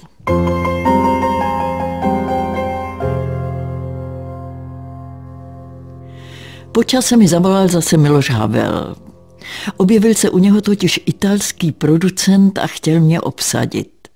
Znovu bych mohla hrát. A tak jsem letěla do Itálie. Byl to můj druhý útěk z říše. V Římě alespoň mezi filmaři nebylo potuchy o válce, brzo jsem si připadala jako doma. Italsky jsem neuměla, ale ne dlouho. Producent mi zaplatil hodiny a italština mi šla jak po másle. Brzo jsem se domluvila docela snadno. A tak jsem večer co večer popíjela aperitivy s tehdejšími italskými hvězdami. Brzo jsem šla v Itálii z filmu do filmu, nikdo nedával najevo, že by snad věděl o mé minulosti. A jestli věděli, spíš se jí bavili. Italové se na milostná dobrodružství dívají, eh, řekla bych, eh, velmi schovývavě. Byla to po krachu s ministrem snad nejšťastnější doba mého života. Jenže brzy na to přišel rok 1943 a bomby začaly padat i na Itálii. Pestrou filmařskou společnost Sirény zahnali do krytů. Anglická armáda se vylodila v Jižní Itálii, potom Američani na západním pobřeží. Měla jsem v hlavě plán. Po úspěchu mých prvních italských filmů mi nabídla dlouhodobou smlouvu největší tamní společnost a já se rozhodla, že v Římě zůstanu. Počkám, až jej angloameričané osvobodí a stanu se prostě italskou herečkou k nerozeznání od všech těch černovlasých, tmavookých, kyprých děvčat, kterými se ateliér jen hemžili. Pak jednoho večera někdo zaklepal na dveře mého hotelového pokoje. Otevřela jsem. Dva muži v německých uniformách, velmi komisní, velmi neitalští, tak mě nakonec přece jen našli. Říše se klíží, Itálie je už na lopatkách, fronty praskají, ale oni si našli čas pro českou herečku, která kdysi ohrozila dobrou pověst jejich ministra propagandy. Oznámili mi, že všichni protektorátní příslušníci se musí neprodleně z Itálie vrátit do Prahy. Zítra ráno v šest vás odveze auto na letiště a žádné hlouposti.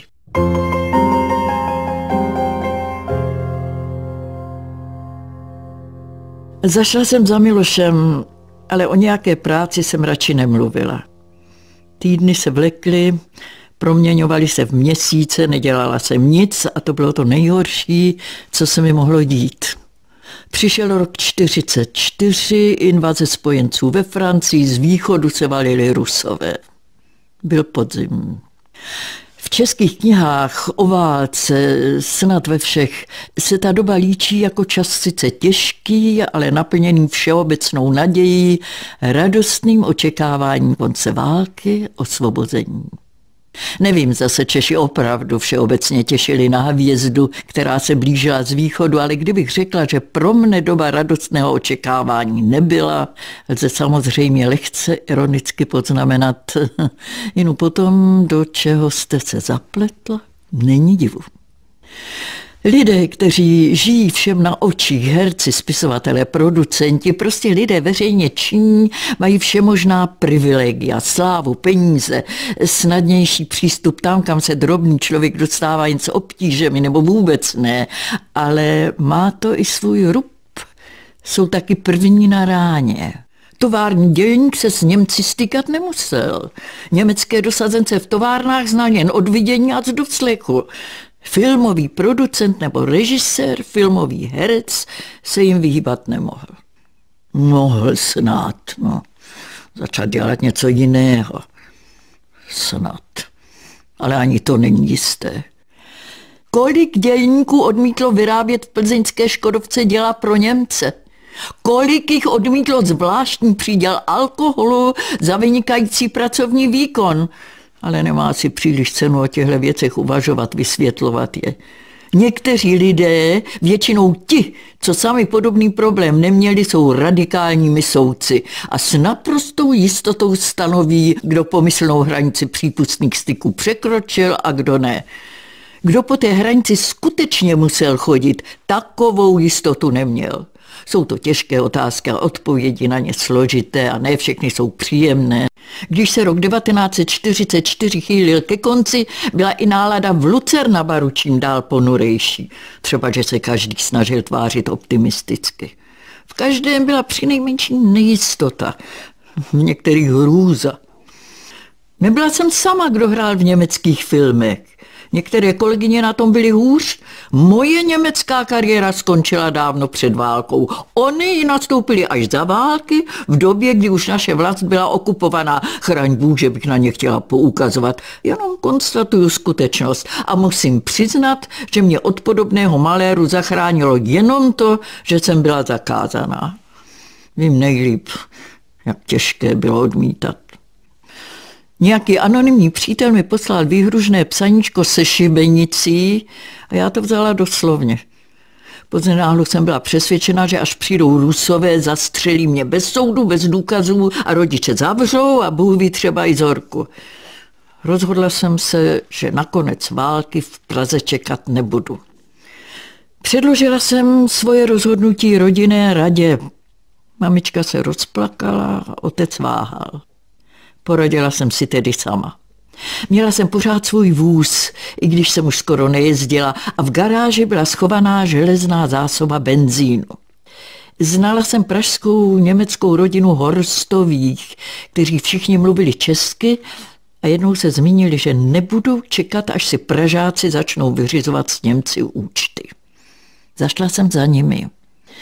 Chystali se k odchodu, ale neměli auto.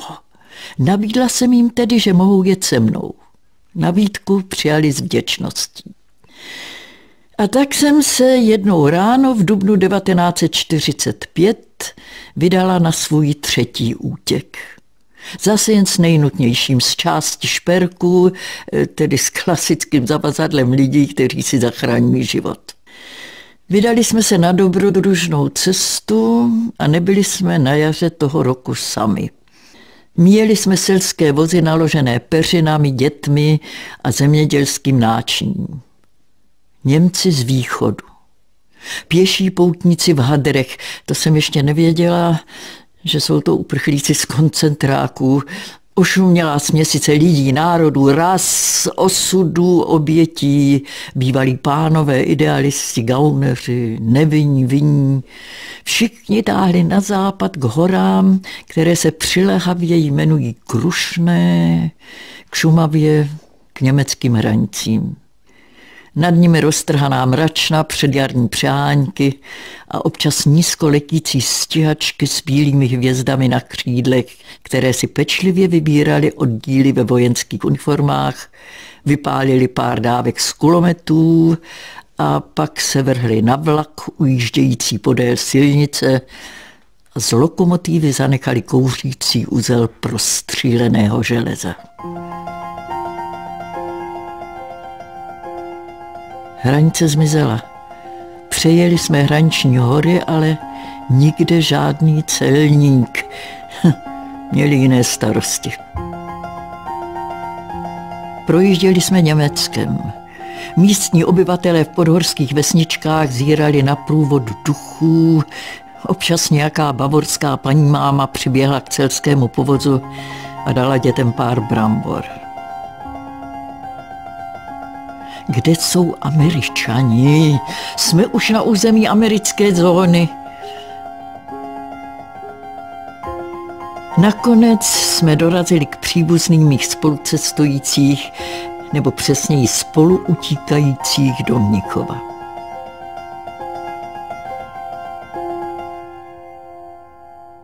Po pár dnech podivného klidu mě objevili američané a začali mě vyslíchat. Kdo jsem? Proč utíkám. Připadalo jim zvláštní, že pokud jsem Češka, jak tvrdím, a ne Němka, utíkám před Rusy. Výslechu bylo hodně, nakonec se o mě zajímali spravodajští důstojníci. Ti už věděli, kdo jsem, čí milenka jsem byla. Vyptávali se mě, co si myslím o nacismu. Jestli jsem souhlasila s tím, co Němci dělali. Když jsem jim popravdě řekla, že ne, že jsem nacistka nikdy nebyla a dnes, když už vím, co napáchali za strašné zločiny, no jak bych s tím mohla souhlasit? Jenže tenkrát jsem byla mladá, oslněná slávou a nic jsem neviděla. Když jsem jim tohle všechno řekla, spustili znovu. Pak mě na nějaký čas zavřeli do vězení, potom dokonce i do blázince, jako by nevěděli, co se mnou. A pak po pár týdnech na mě čekal jeep a v něm tři muži v amerických uniformách. Odvezli mě do Plzně, do kasáren a odtud druhý den do Prahy. Tam se opakovala komedie z Mnichova. Jezdili se mnou od jednoho úřadu k druhému, ale nikam jsem nepříslušela. Nikdo mě neměl na seznamu, nikdo netušil, co se mnou. Na vítězném náměstí jsem seděla v džípu hodiny a hodiny, nevěděli si rady. Vyřešili to tím, že mě odvezli na čtyřku do Bartolomějské a zavřeli mě na celu číslo 13, prý pro prominenty. A zase začaly výslechy. Byly hrozné. Vozili mě na ně na hrad, občas jsem viděla, jak do jiných místností přivádějí k výslechu lidi z protektorátní vlády. Na mě pracovali tři chlapy v československých vojenských uniformách, neurvalí zprostí a jednali se mnou jako s vojenskou špionkou. Jeden, který stál za mnou, mi vždycky zabodl dozad pistoli, druzí dva na mě hulákali otázky. Přiznejte se, že jste pracovala pro Němce. Kdy? Za protektorátu. Vyzrazovala jste česká vojenská tajemství Němcům. Psala jste pro ně zprávy neviditelným ingoustem a pronášela jste je na papírcích ve vlasech. Jejich otázky mi nedávaly smysl. Potom mi povolili, že za mnou mohla denně na chvíli matka. To však nebyla velká pomoc. Mamička byla chudák ze všeho vyděšenější než já a většinou jen bědovala a bála se lidového soudu, před kterým mě chtěli poslat. Já se už začala bát, že skončím na šibenici. Byla to hrozná doba.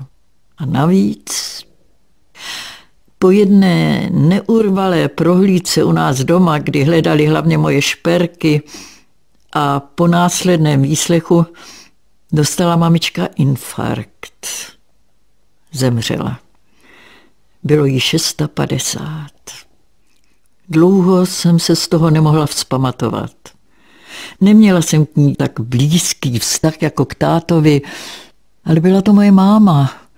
Chodila za mnou jako pejsek, jako hlídací pejsek do ateliéru.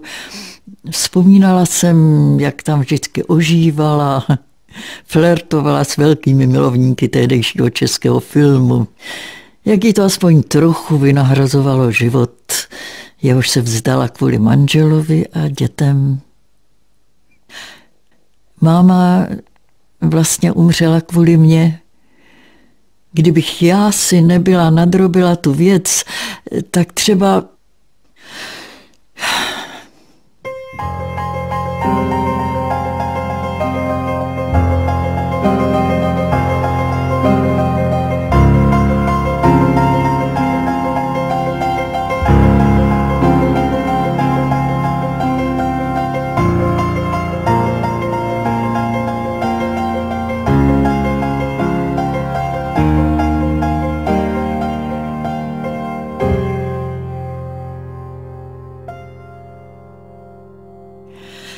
Čas se vlekl a já stále nevěděla, jak skončím.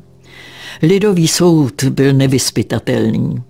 Dlouho bylo všechno na vážkách, až mi nakonec pomohlo svědectví člověka, kterého jsem vůbec neznala a jemuž na mě nemuselo ani zamák záležet. Tehdy sedělo odděleně od ostatních na pankráci hodně významných gestapáků, jimž se nepodařilo utéct nebo které američané vydali. Museli sepisovat jakési memoáry, všechno, nač si vzpomínali. Ku podivu většinou mluvili pravdu. A tenhle můj gestapák napsal, že mezi osobami, které měl na seznamu jako politicky nespolehlivé, jsem byla já. Na soud to udělalo dojem. Vězení mě hodně změnilo. Poznala jsem snad jako málo kdo pravdivost okřídlené věty o marnosti světské slávy. Přestala jsem být náročná, byla jsem schovývavější k lidem. Pokud člověk přežije hrůzy vězení a války, ztratí sice mnoho. Slávu, mění, mnohdy i zdraví, ale přece jen něco získá. Reální pohled na život. Ve vězení, což jsem tehdy na pankráci nemohla ani tušit, jsem získala svého prvního manžela. Jednoho dne tam za mnou přišel elegantní, hezký muž. Představil se, že je Jan Kopecký z rodiny loutkáře Matěje Kopeckého a že mi chce pomoci.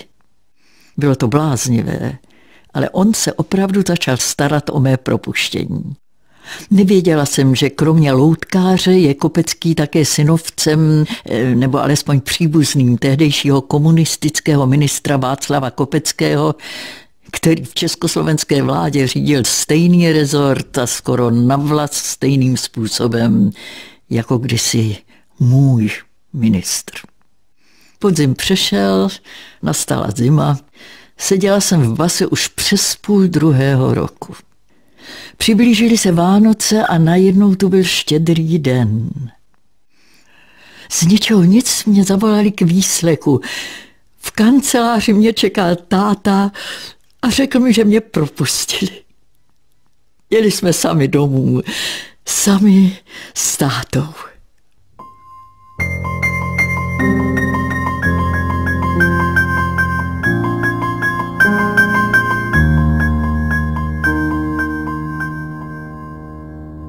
Tím se, vážení a milí, uzavírá naše předposlední setkání s četbou na pokračování z knihy Josefa Škvoreckého Útěky. Tyto vzpomínky herečky Lídy Bárové pro rozhlas upravila Ivana Pustějovská. Technicky spolupracovali Roman Špála, Daniela Sochorová a Jiří Vavda. Hudebně spolupracoval Jiří Pochvalovský, režim měl Michal Bureš a naslyšenou u závěrečné části se s vámi těší Zdenka Procházková.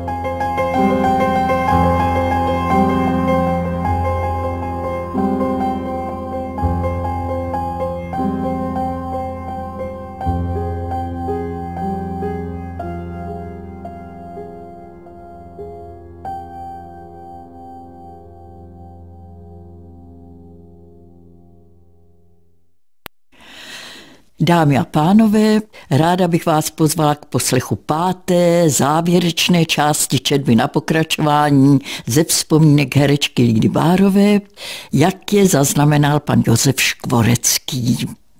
Od mikrofonu vás zdraví Zdenka Procházková. Začínají útěky.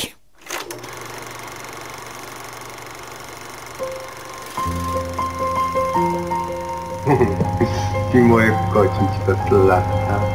Mám tak strašně ráda na duši. Což jestli mi opravdu neodolá. To nechci ani pomyslet.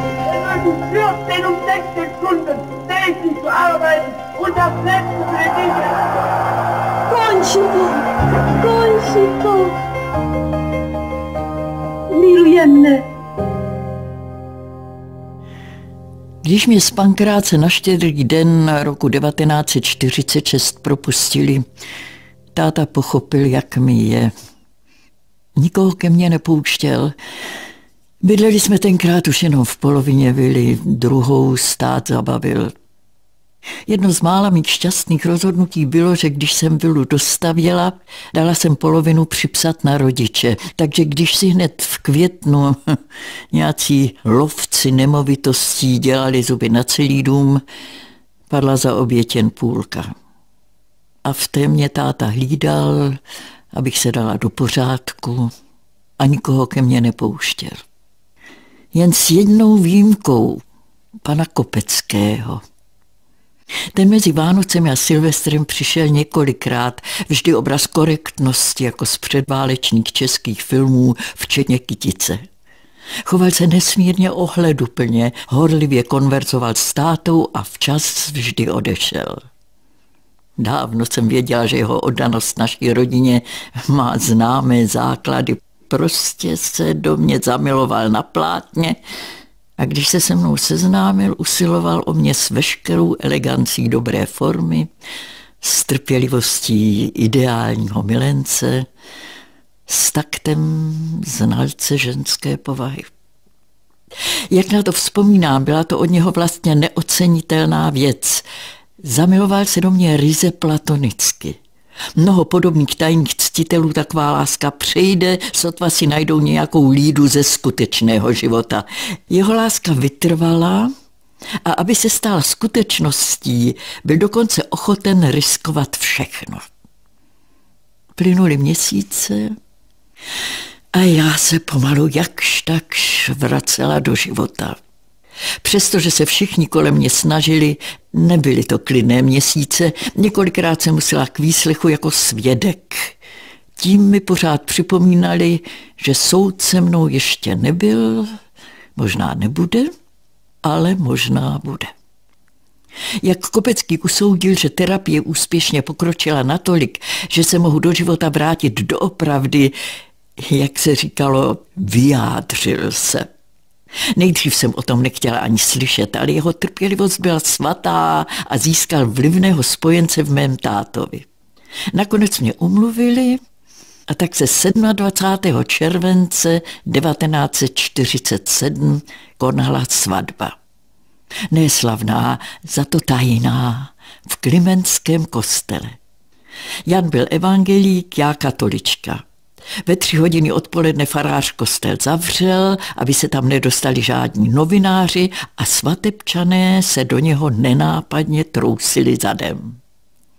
Bylo nás jen pět. Ženich a nevěsta, táta a svědci. Po obřadu se dostavilo první překvapení.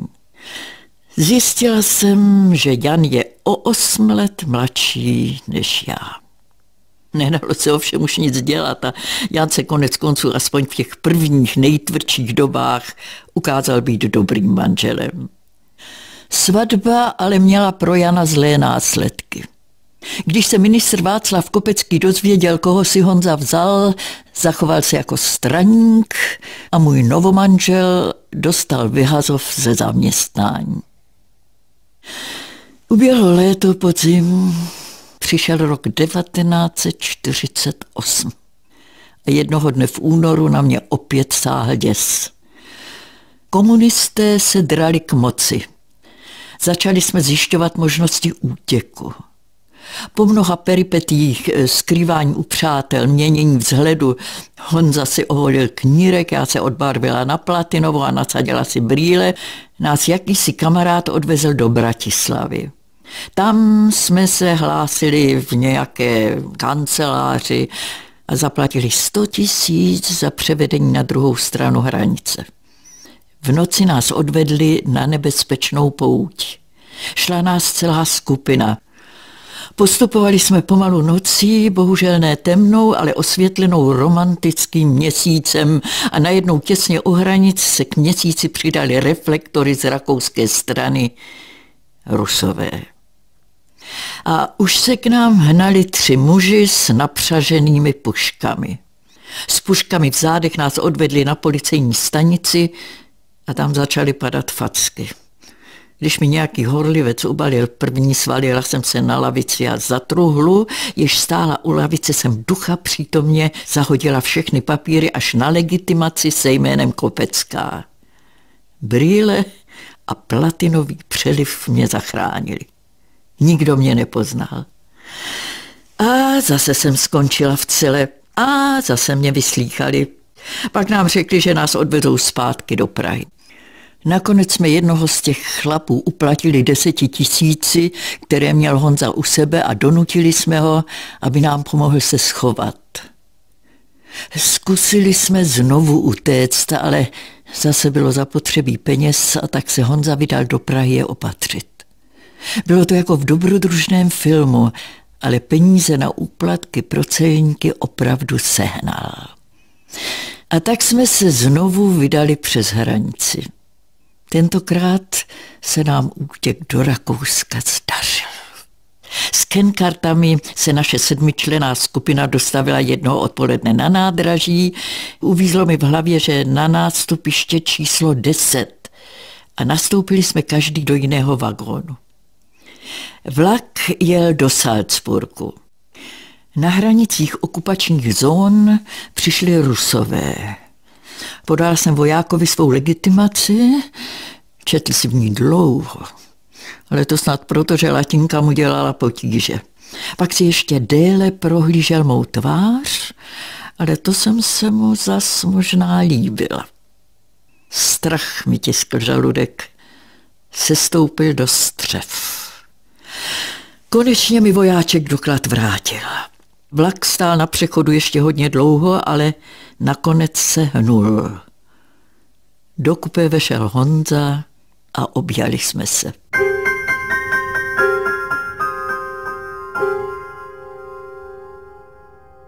To byla má poslední eskapáda.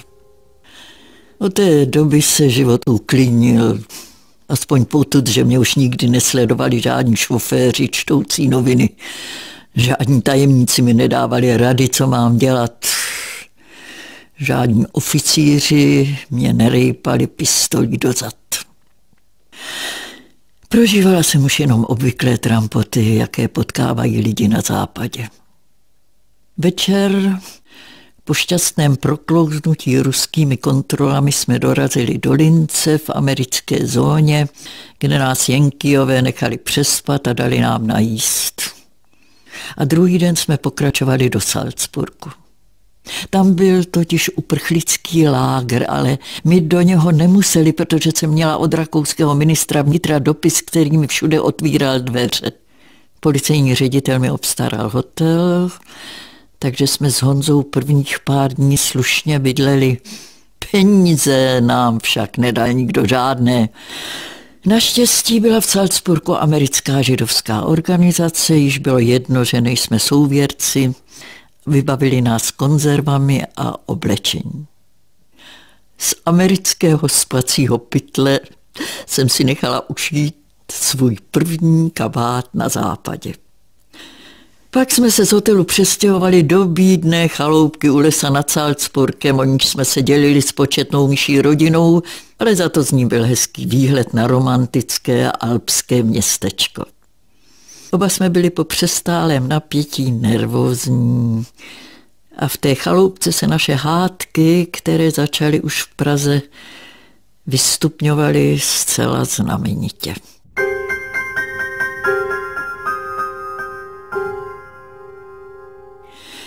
Hlavním problémem všech Čechů v Salzburgu bylo získat povolení k emigraci.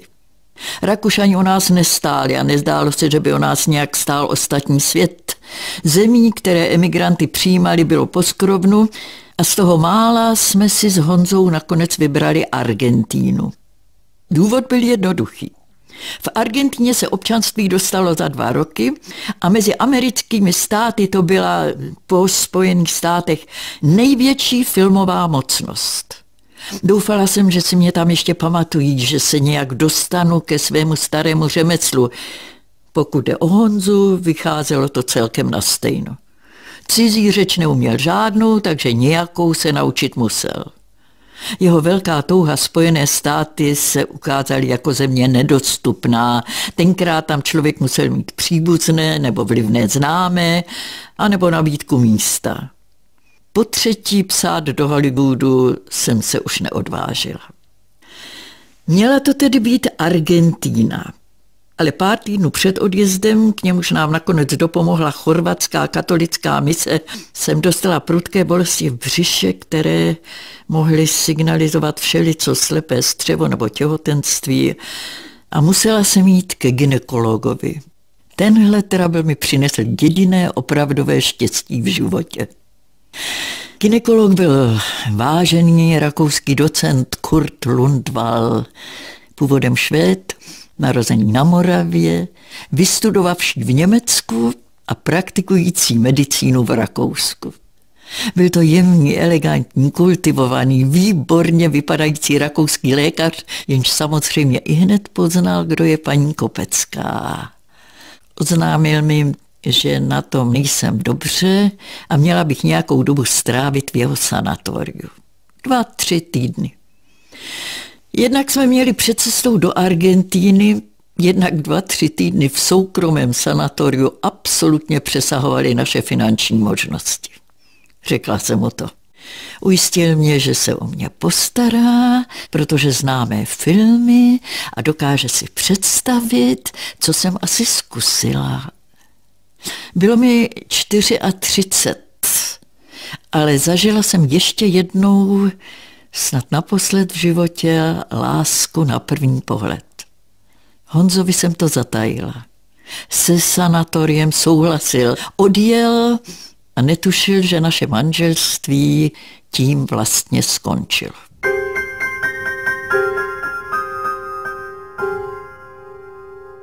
Doktor Lundval mě za tři neděle dal skutečně do pořádku. Vitamíny, klid a jeho přítomnost ze mě udělali dřívější Bárovou, sice o deset let starší, ale pořád hezkou ženskou. Pro ní život ještě neskončil. Brzo bylo mezi námi jasno. Našel mi pokoj v zámečku přestavěném na hotel a trávili jsme tam víkendy a všechen volný čas. Vyprávěla jsem Kurtovi o svém manželství, o tom, jak mě Honza získal svou neohrožeností, jak jsem sice od začátku věděla, že lezu do něčeho, co nikdy nemělo být, ale nakonec jsem si ho vzala z mnoha důvodů. Hlavně, že jsem nechtěla být na přítě štátovi a taky, že mě dojímal obětavostí. Jenže od začátku to mezi námi neklapalo. Snažili jsme se sice, ale mezi námi lidmi tak rozdílnými docházelo nevyhnutelně ke sporům a ty v nás zanechali stopy. Jan Kopecký mi hodně pomohl, na západě jsem však chtěla stát zase jen na svých nohou. Doma nás spojovalo nebezpečí, které by nás oba bylo zničilo. Ve svobodném světě jsme, jak se nyní jasně ukázalo, byli určeni pro rozličné cesty a cíle. Rozešli jsme se. Honza odjel do Argentíny, já odešla do Itálie. V Itálii si mě všiml režisér, jenž se brzy vypracoval na přední místo mezi velkými novátory světového filmu. Federico Fellini. Nebyl tenkrát ještě tak slavný, jako je dnes. Světovou proslulost mu však poprvé získal právě film, do něhož obsadil i mě. Jmenoval se Darmošlapové. Ma il carnevale è finito, mi pare. Che temperamento. Solo ieri sera ho capito che lei è una vera donna. Ma lei è ubriaco! I další léta jsem měla hodně práce v Itálii. Filmovala jsem i pro německo-španělské koprodukce. Táhlo mě to však do Salzburgu za Kurtem. Často jsem tam jezdila, až jsem v Salzburgu nakonec zůstala natrvalo. Jak jsem mohla, byla jsem s ním. Náš vztah se prohluboval a brzo nám bylo jasné, že jsme ideální partneři. Kurt byl vzdělaný člověk, měl jako šéf kliniky a soukromého sanatoria vynikající společenské postavení, byl členem Rotary klubu, dokonce dvakrát jeho prezidentem a přitom pro mě a pro mou práci je byl plné porozumění. Stesk, který ho v mé nepřítomnosti přepadal, projevoval se kavalírsky. Po dlouhá období vypsával denně expres dopisy do Říma, později do Španělska. Vůbec mi nevadilo, že jsme se nebrali a že jsme spolu nakonec žili neoddání 24 let, dokud nezemřela jeho první žena. Než se oženil se mnou, dodržel Kurt dokonce ještě tradiční rok smutku. Jeho první manželství byl omyl, jaký lidé dělají. Kurt byl společenský člověk a se svou paní se k sobě vůbec nehodili. Lídu Bárovou pochopitelně paní Lundvalová v lásce neměla a vyhrožovala mi dokonce žalobou pro rozvracení manželství, což bylo dřív v Rakousku trestné. Kurt však situaci vždycky nějak urovnal, rozvádět se však nechtěl. Obával se skandálu, který si při svém veřejném postavení nemohl dovolit. To si aspoň myslel. Mně to bylo jedno. Vůči skandálům jsem byla imunní a byla jsem šťastná, že konečně mám člověka, který mě nejen má rád, ale jemuž taky splňuju, co se od ženy očekává. Nemohla jsem po všech těch kotrmelcích svého života dopadnout líp, než s Kurtem Lundvalem. Byla jsem tvojí milenkou, tvojí přítelkyní a ošetřovatelkou. Milovala jsem tě tolika různými způsoby. Ale teď chci být jedině tvojí ženou.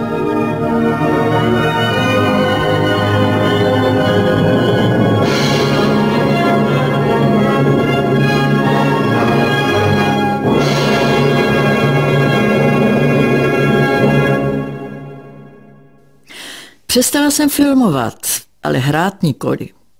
Ozvalo se totiž divadlo. Nejprve jsem hostovala ve Vídni, pak v Düsseldorfu.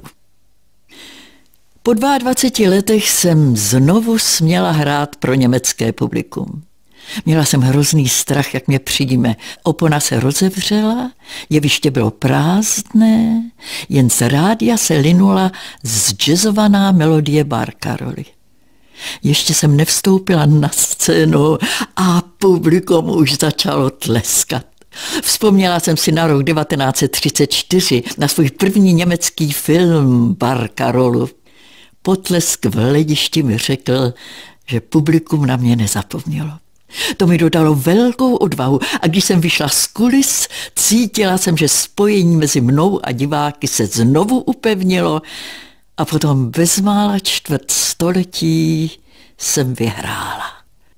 Noviny se ke mně rovněž zachovaly dobře a třeba, že nebylo snad článku, kde by autor nepřipomněl poválečnému publiku ministra Goebbelse, psali o mě sympaticky, dokonce v superlatívech, takže se najednou u mě začala divadla doslova rvát. Pozvali mě například do Heidelbergu a dokonce mi nabídli, abych si sama vybrala hru, v níž bych chtěla hrát hlavní roli.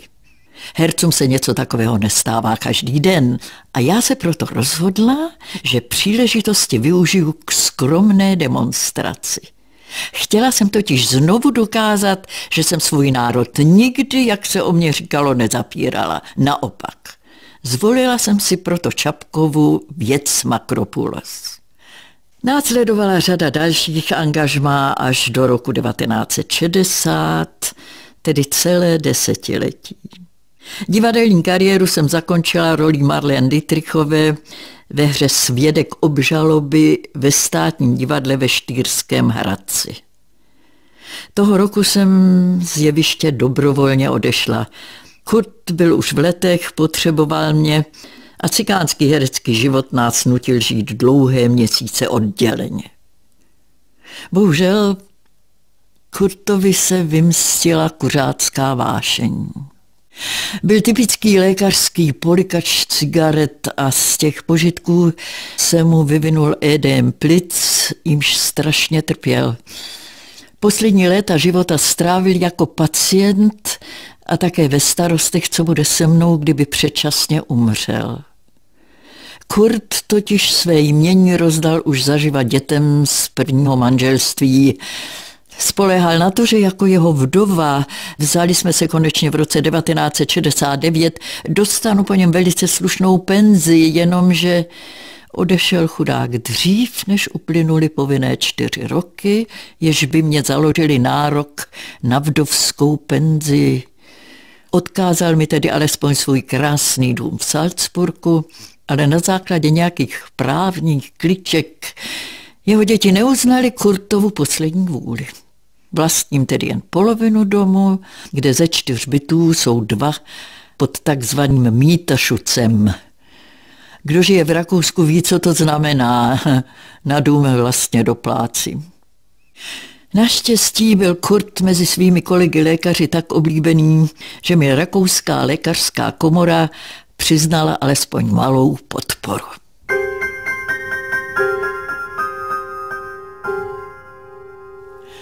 Po všech starostech, které na mě po smrti milovaného Kurta Lundvala spadly, žiju v klidu. Stýkám si jen s několika přáteli a se starou kamarádkou z věznice na Pankráci, které se nakonec také podařilo dostat se z Československa na svobodu a má teď v Salzburgu docela úspěšný obchod. A občas, dost často, přijde i dopis z Československa. Milá paní Bárová, viděl jsem v retrospektivním kině nebo v televizi váš film Maskovaná milenka, dívka v modrém, ty nejčastěji. A moc a moc jste se mi líbila a tak dále. Milé pozdravy z dálek času, který ku podivu není cizí ani dnešním mladým lidem. Velice mnoho takových dopisů píší mladíci, kteří by mohli být mými syny. Přirozeně představují takové listy malé radosti, které mi pomáhají zapomenout na neradosti spojené s mou kariérou. Občas mě taky navštíví někdo ze starých českých kolegů, z těch, co se ke mně nepřestali hlásit nebo si aspoň nepřisadili, když bylo výhodné se do mě strefovat. Občas, jak je v mém věku přirozené, chtíc, nechtíc rekapitulují svůj život v duchu pláču pro všechny své dráje, kteří příliš brzo zemřeli nebo příliš dlouho trpěli, protože svět je takový, jaký je a protože jsem v něm udělala, co mladé holky často dělávají. Vědomně jsem však nikomu zle neublížila, snažila jsem se spíš pomáhat. Zůstala jsem celý život Češka, ačkoliv málo kdo měl, myslím, víc příležitosti vyměnit národnost za kariéru. Snad mohu i říct, že svou pošetilost jsem si odpikala hůř než jiní, kteří ani nebyli pošetilí. Kdo chce, může ovšem hodit biblicky prosluným kamenem. Přátelství, které mi však osvědčují tak mnozí lidé, známí i neznámí, mi dává naději, že trest ukamenováním pokládá už většina lidí za příliš krutý a neobvyklý. Dámy a pánové, tímto přáním proneseným roku 1983 jsme dospěli až k samotnému závěru vzpomínek herečky Lídy Bárové, jejíž život se uzavřel 27. října roku 2000 v rakouském Salzburgu. Končí pětidílná četba na pokračování z knihy Josefa Škvoreckého Útěky. Pro rozhlasy upravila Ivana Pustějovská, technicky spolupracovali Roman Špála, Daniela Sochorová a Jiří Vavda. Hudebně spolupracoval Jiří Pochvalovský. Režii měl Michal Pureš a od mikrofonu se s vámi loučí a vše dobré vám přeje Zdenka Procházková.